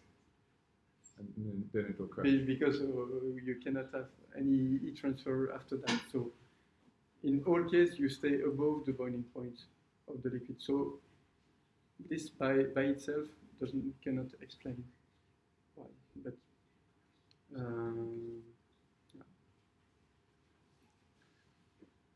okay. Then I will pass to the next person, I think, so that we can get on. Yep. We should move on. Yeah, I appreciate that. Uh, we will come back if we have time. I see you have- Um, so we'll give the floor now to uh, Professor Terwagne. Thank you. So um, I wanted to say that I like the, the manuscript. It was well written and uh, honest, with uh, spiced up by some humor. With some humor. it was nice, nice to read. So that's good. Uh, I saw. I also saw your capacity to collaborate with a theoretician from ULB, which is not always easy. Just for that, you should have. It- it was easy. no, but it's a great um, achievement. And uh, also, I saw I was uh, amazed by the, um, the demonstration, experimental exper- uh, demonstration. It was quite uh, was like a physical investigation to understand what parameters, and so it was quite clear. And well, the analysis was really clear, and then your presentation was really clear also. And so you really worked on on the how to present it your best. That's very good. So the part I prefer, just to, to to tell you, is about the PIV. Yeah. Uh, looking at how the, the Mm. Flow recirculates into the pool because you've got different regimes. It's quite interesting, and also uh, the anti-bubbles. Mm. So now the question, I don't have a lot of questions. I will try to, to keep short. But uh, I got one about your exam of thermodynamics when you were in. If Christophe I didn't so it coming, but yeah. here. It's fine. Okay, we, we looked after your exam, but uh, we didn't find it. So So yeah, just have to trust you that uh, you can do thermodynamics now. you are impressed. So um, I had a question about the yes about the. It seems when I read the manuscript that you were a bit disappointed that Leidenfrost effect wasn't working on very highly viscous liquid. Uh, so you had to use less viscous, less viscous liquid, so you found something else. And so first thing I saw, but why didn't you try to have like a solid aluminium plate and just a small layer of. Uh, uh, it's, it's the perspective that I yeah. used at the end, but why? Uh, actually, this is uh, like a perspective because we didn't succeed as well as we expected it. We can we can make uh, Leidenfrost drops on uh, impregnated substrate, well impregnated, but it doesn't work as well. And uh, actually, there are several problems. Like when the drop is moving on these substrates, you can see that it leaves a, a trace behind it.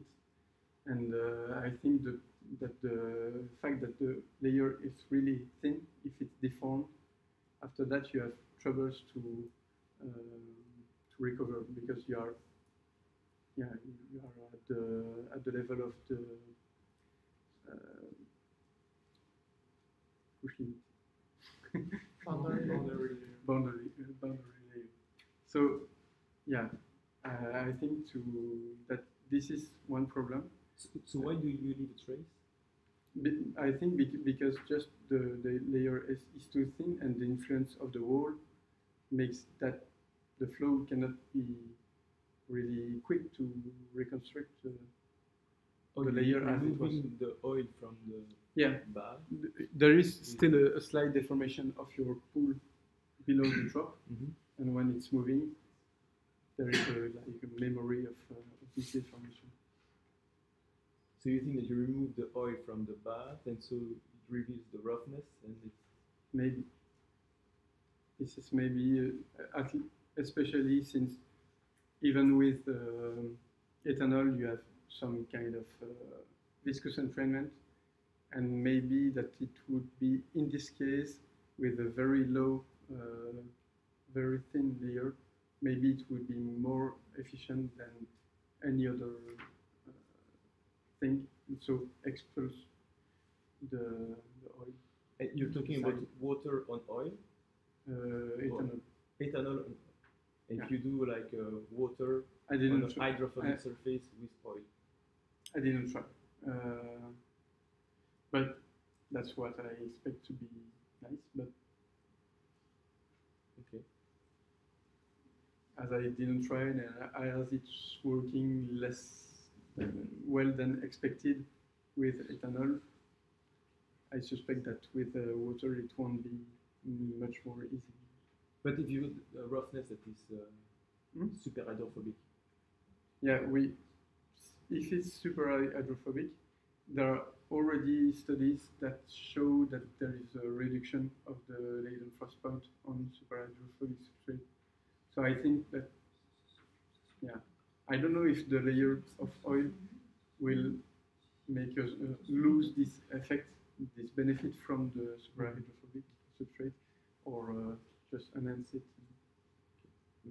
one question. Sure. Yeah.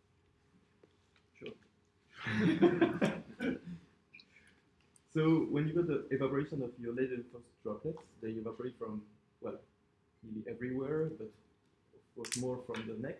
Yeah. And if, if you look your particles, they are uh, pointing outside, so there is a layer. Um, so you are in fact hiding some liquid. Well, you're reducing the surface Yeah. between the uh, ethanol and air, right? Yeah. But you don't. It, it seems that you don't decrease the evaporation rate. Uh, ah, yeah, with ethanol. Actually, uh, with ethanol, uh, beads are really mixed up in the okay. the other way. The, other- the other one. the with the water. Yes. With water, it's just like this. Decreasing so a little bit. it, it decreases the, the surface of evaporation. Yeah. So I mean, Uh, when you look at the flux, the evaporation flux, it's not homogeneous anymore. Yeah. It just evaporates in between the, the particles. Yeah. Right. Right. And so, have you an idea of uh, how you could use maybe this uh, flux? Just imagine that you have particles that are uh, asymmetric. Ah. Ah, okay. Uh, You might be able to be able to make them move on the surface. with the particles? Maybe. Um, probably, but you should uh, need an organization of the particles that orient uh, Yeah, you your asymmetry yes, in, in a good way to, to make the propulsion. But if you can do that with a magnetic field, for example, you orient all your particles. Yeah, why not? It would be a nice way to self-propel. And to make the, the propulsion come from the the drop and not the substrate as mm-hmm. it's done, uh, done usually. Okay, I don't know if. Maybe just one. I was wondering for the hypergravity uh, experiment. Yeah. Do you get the same result if you just change the size of the drop? If I uh, what So result? you just well, do you see the same um, uh, decrease of um, uh, Ah, the- lifetime? It's, that's what you were measuring, right? Uh, You just change the many radius and things. the gravity. you know what I mean? So to Uh, keep to keep the, the same. You change the Ah, number, but by it- using the radius of the drop, so the weight of the drop, Yeah. and not the gravity. Do you have the same result? wait, uh, sorry, can you re- Yes. repeat? Uh, So you're changing the, the gravity, right? Yeah. And you observe that the lifetime Decreases. decreases. If you change the radius of the drop, well, it's like you're changing the same the number, but you you are Ah. still in the graph in the same Uh, gravity field. Yeah, and you would like me to compensate the, Yes. the bond number by changing. Uh, actually, it's not enough because when you looked at your uh, law for evaporation, what is important is the characteristic time, and especially in hypergravity, the characteristic time for evaporation for large drops. And in this Uh, characteristic time, there is much more than the bond number. And so compensate the bond number by the size of the drop. The initial size of the drop won't be enough to. But you would reduce the neck. Yeah. Yeah. So decrease also the time time.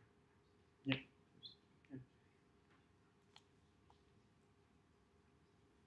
Okay, I'm good. Thank you. Uh, monsieur. Um, I would like now, instead of going to the promoter and co-promoter, and we have already some time, perhaps I give the floor to the secretary here, Monsieur May first. and then we can- I will ask just a few questions, but I'm not uh, the specialist in the field. Then uh, it will be more difficult for you. But I first, a- expected. A, a few remarks. I've seen you doing yeah, four years, in fact, for more working very hard uh, in the lab and also in the office. I will not speak about the music because it was, it was too, too high level for me. But still, I'm really impressed by the manuscript because it's small, but it's big. it's small in the dimensions, but it's a big, um, it's a big piece of, uh, of experimental work. And uh, I was uh, really expressed by that. And also, I will say that in French and perhaps uh, hors CV, mais je crois que tu as écrit ce- cette thèse vraiment avec tes tripes. Et ça, euh, je trouve que, que c'est vraiment très bien. C'est vraiment agréable à lire. And also, I would like to emphasize your uh, your human qualities because I think that even for people who are not working directly with with you, like me, it was always a pleasure to to cross you in the lab, and um, it's also an important part of, of the thesis, uh, the scientific part, but also the relation the relationship with uh, with other people working with you. Um, and also, I, I think that the, the presentation in particular is only the visible part of the iceberg because there are more in the manuscript, but also uh, you publish, for example, a paper with, um, with flow um, granular materials. Uh, you worked also with elastic system, if I remember well. Then you you was also involved in other projects. And it's also good because it's always good to have an open mind and work uh, on different uh, on different subjects. For my question, you should have also an open an open mind. yeah, I do not have much time. I will select my you, uh, it, it was tricky to, to make the Leidenfrost effect on oil with, with water. Yeah. I assume probably due to the surface tension, high value. Uh, maybe also because it's uh, quite um, uh, the heat capacity Mhm. is really high, The latent heat, and also the latent heat.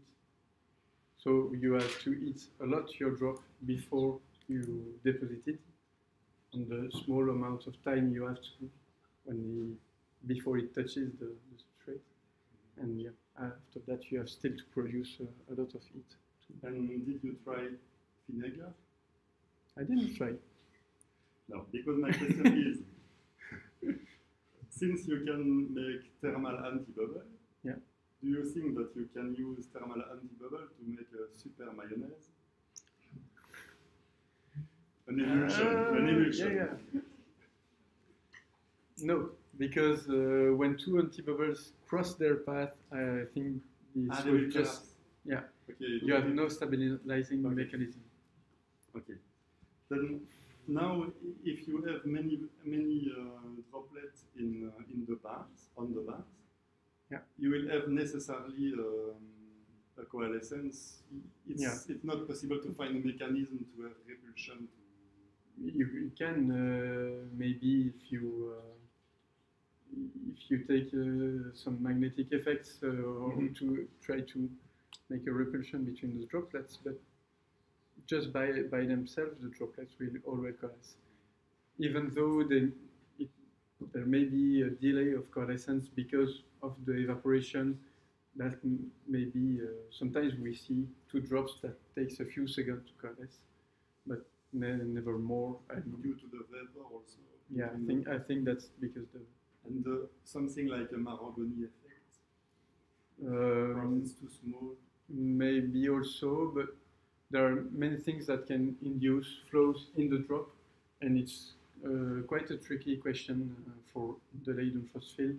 The flows that are happening in the drop, and uh, especially on the pool, I expect them to be quite not strange, but this is not uh, obvious at all how they will uh, it will flow, and so the combination of the origin of these flows, the combination with Marangoni, I don't, don't really know, but it's quite tricky to observe these flows because of the cur- curvature of the curvature of the pool. And we do not have in the literature uh, experiment with PIV inside the PIV inside the drop. Uh, there are some uh, pseudo PIV where people put some particles in, in them and just observe the direction of the flow and uh, but yeah uh, and uh, Alexi actually told me that there was an experiment going on on this subject but I cannot uh, tell you about uh, You it uh, openly. Okay. And can you replace your, you speak about the soldering iron to Uh, yeah. soldering iron? yeah. Is it possible, you- you think that it's possible, but it's outside the scope of, of, the, of the work, but with a laser beam? It's yeah, maybe there are some uh, experiments for uh, moving uh, objects, uh, beads with a laser beam just by heating the, the pool locally, Mhm. and uh, this is a way to move objects. But I think that here the Marangoni flows that you could produce would be uh, not sufficient to compensate for the movements, the natural movements of the natural movement of the drop. Okay. Thank you. Thank you, Sylvain. So now give the floor to the promoter, co-promoter, perhaps a co-promoter coming from uh, Okay. further away. So it was a pleasure to be a co-promoter of this uh, thesis, uh, not only because all the work was done here uh, in Liège with the promoter, actually, uh, but also because of the interactions. And uh, I liked the reading of the thesis very much, and I liked the presentation a lot. I think the presentation was very impressive uh, on the pedag- pedagogical point of view. Um, there are a lot of results in the thesis, especially experimental, and uh, there are some theoretical results as well, even though sometimes uh, it's a bit rough because of the complexity of the phenomena involved, Mm. which mix uh, capillarity, hydrodynamics, uh, heat transfer, granular material, and, and so on. So I should say you are a true experimentalist really, because uh, even though we try to push interactions with the best uh, mathematicians in the world, well, no, no, in your beat rather, uh, you, you kept on this route. Yeah. It was well, quite complicated. Yeah, but th- that's a really a nice piece of experimental work which uh, poses uh, many questions uh, and gives uh, food for future thoughts uh, and for future work. So I have uh, maybe one or two questions. Uh, you speak a lot uh, and you spoke during your presentation about the fluctuations of the vapor film. Um, this seems to be a way to explain many things like the Leidenfrost point and so on. So, Mm. but you don't give many details about it. Actually, uh, in the lit- What are they literature, coming from? What, what, where just the I, I think that just the, this neck when there are vapor that is escaping the film, the neck is a bit unst- unstable. Uh, maybe simply because its circumference, at least when the drop is quite big, the circumference can be uh, much longer than a, a, cap, a capillary length. And I think this may be a reason why it's quite unstable. But And you, you cite a thesis uh, Paris. Uh, Yeah. to- uh, Philippe Bourrienne, Yes. Yeah. Uh, did they study specifically this? Uh, not specifically. They, they observed that uh, with just by imaging, uh, they, they saw these fluctuations, and there is also Burt, Burton Burton saw some. show some flu- fluctuations, but nobody tried to characterize these fluctuations. And I think that would be really the next big thing to, to do in the Leidenfrost field. One of the big things. Um, many questions were asked by others. Um, you speak about the lifetime of thermal antibubbles. Yeah. And you, you said that it's about one second in general. Yeah, the, at, at least the lifetime, the time for the antibubble to go back to the surface, it's Yes, exactly. about one second. Yes, it pop, because it grows by evaporation and then uh, pops up Yeah. at the surface. But I guess this depends on the superheat very much. Yeah, yeah. So the, this sure. can, can this time be much longer or at low superheats? Uh, Uh, even at low superheats, it's still quite high and uh, uh, quite low. I think the yeah the there is always evaporation in the in the Leidenfrost. Uh, a- as soon as delta T is one degree, we saw that still the the drop evaporates in like 10, uh, 10 seconds or something like this, and in an environment where it's surrounded by hot oil. I guess that explains why. But it's a complicated thing because we cannot just rely on the conductivity transfer to uh, make the drop evaporates, and there should be uh, evaporation uh, through conduction, convection in inside the inside the bubble. Yeah. Uh, maybe a last question. Already. Yeah. Or maybe a suggestion about the chapter on uh, shaken uh, Yeah.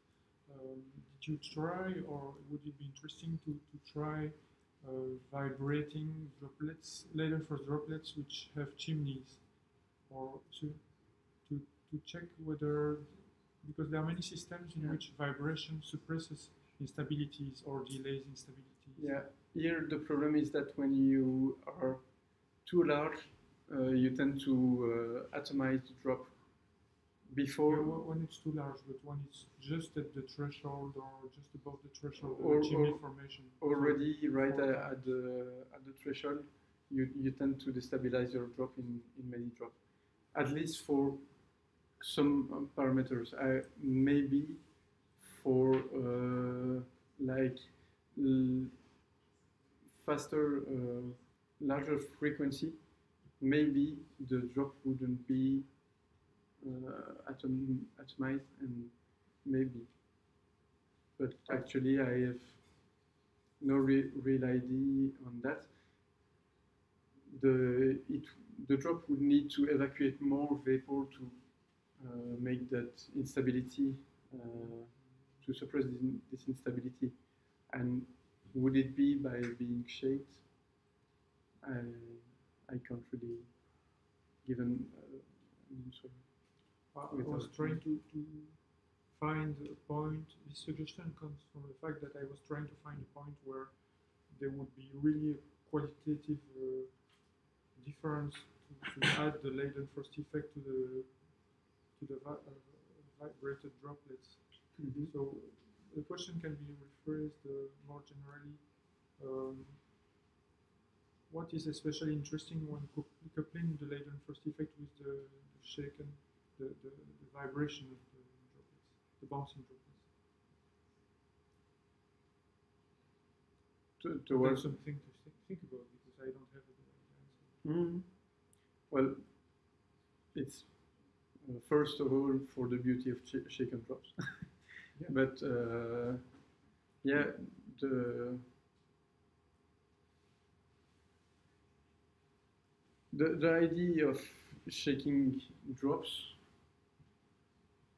yeah, Leidenfrost drops. This is first to uh, try to to see a bouncing object that is uh, deformable on a solid substrate. That is something that was not the case before, except for superhydrophobic substrates. Yeah, I don't don't really see what I could say on that subject. So. We will think about Well, yeah. Okay, thank you. Okay, thank you. So, what can you keep thinking? I Yeah, so, Stefan. so I, I will be brief. so two time scale.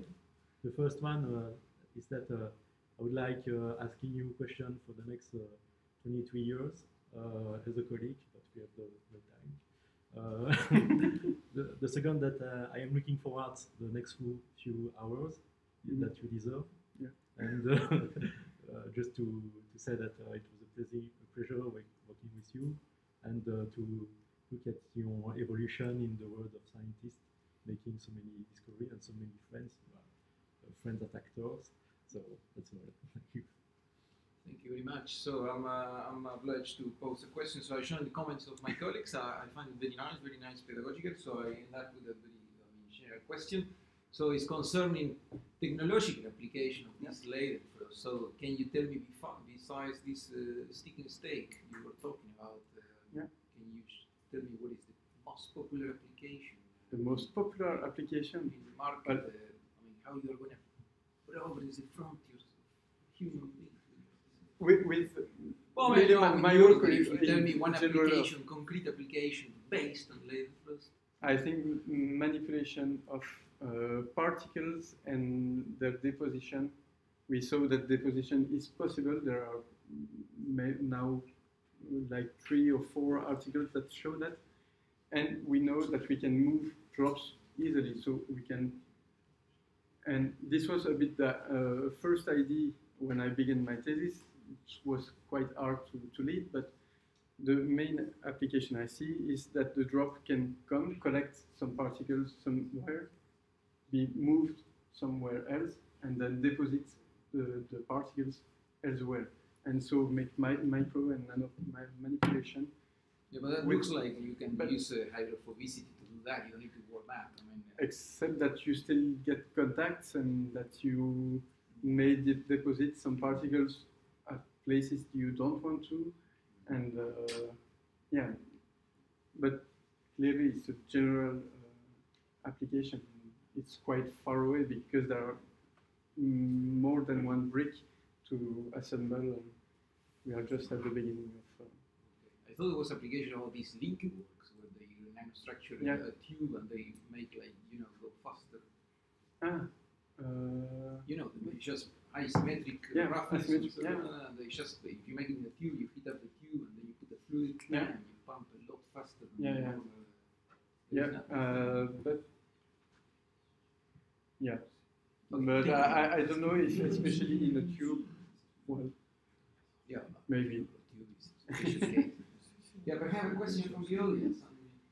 We still have like about 10 seconds. no questions, so proceed for secretary. We will proceed for discussions.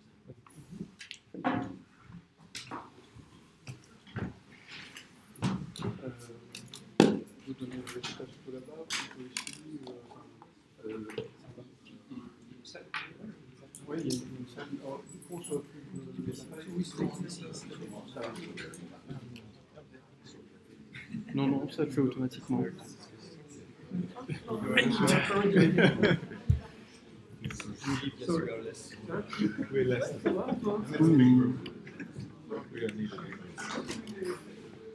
Qu'est-ce qui se passe là? Allez, j'éteins cet ordi.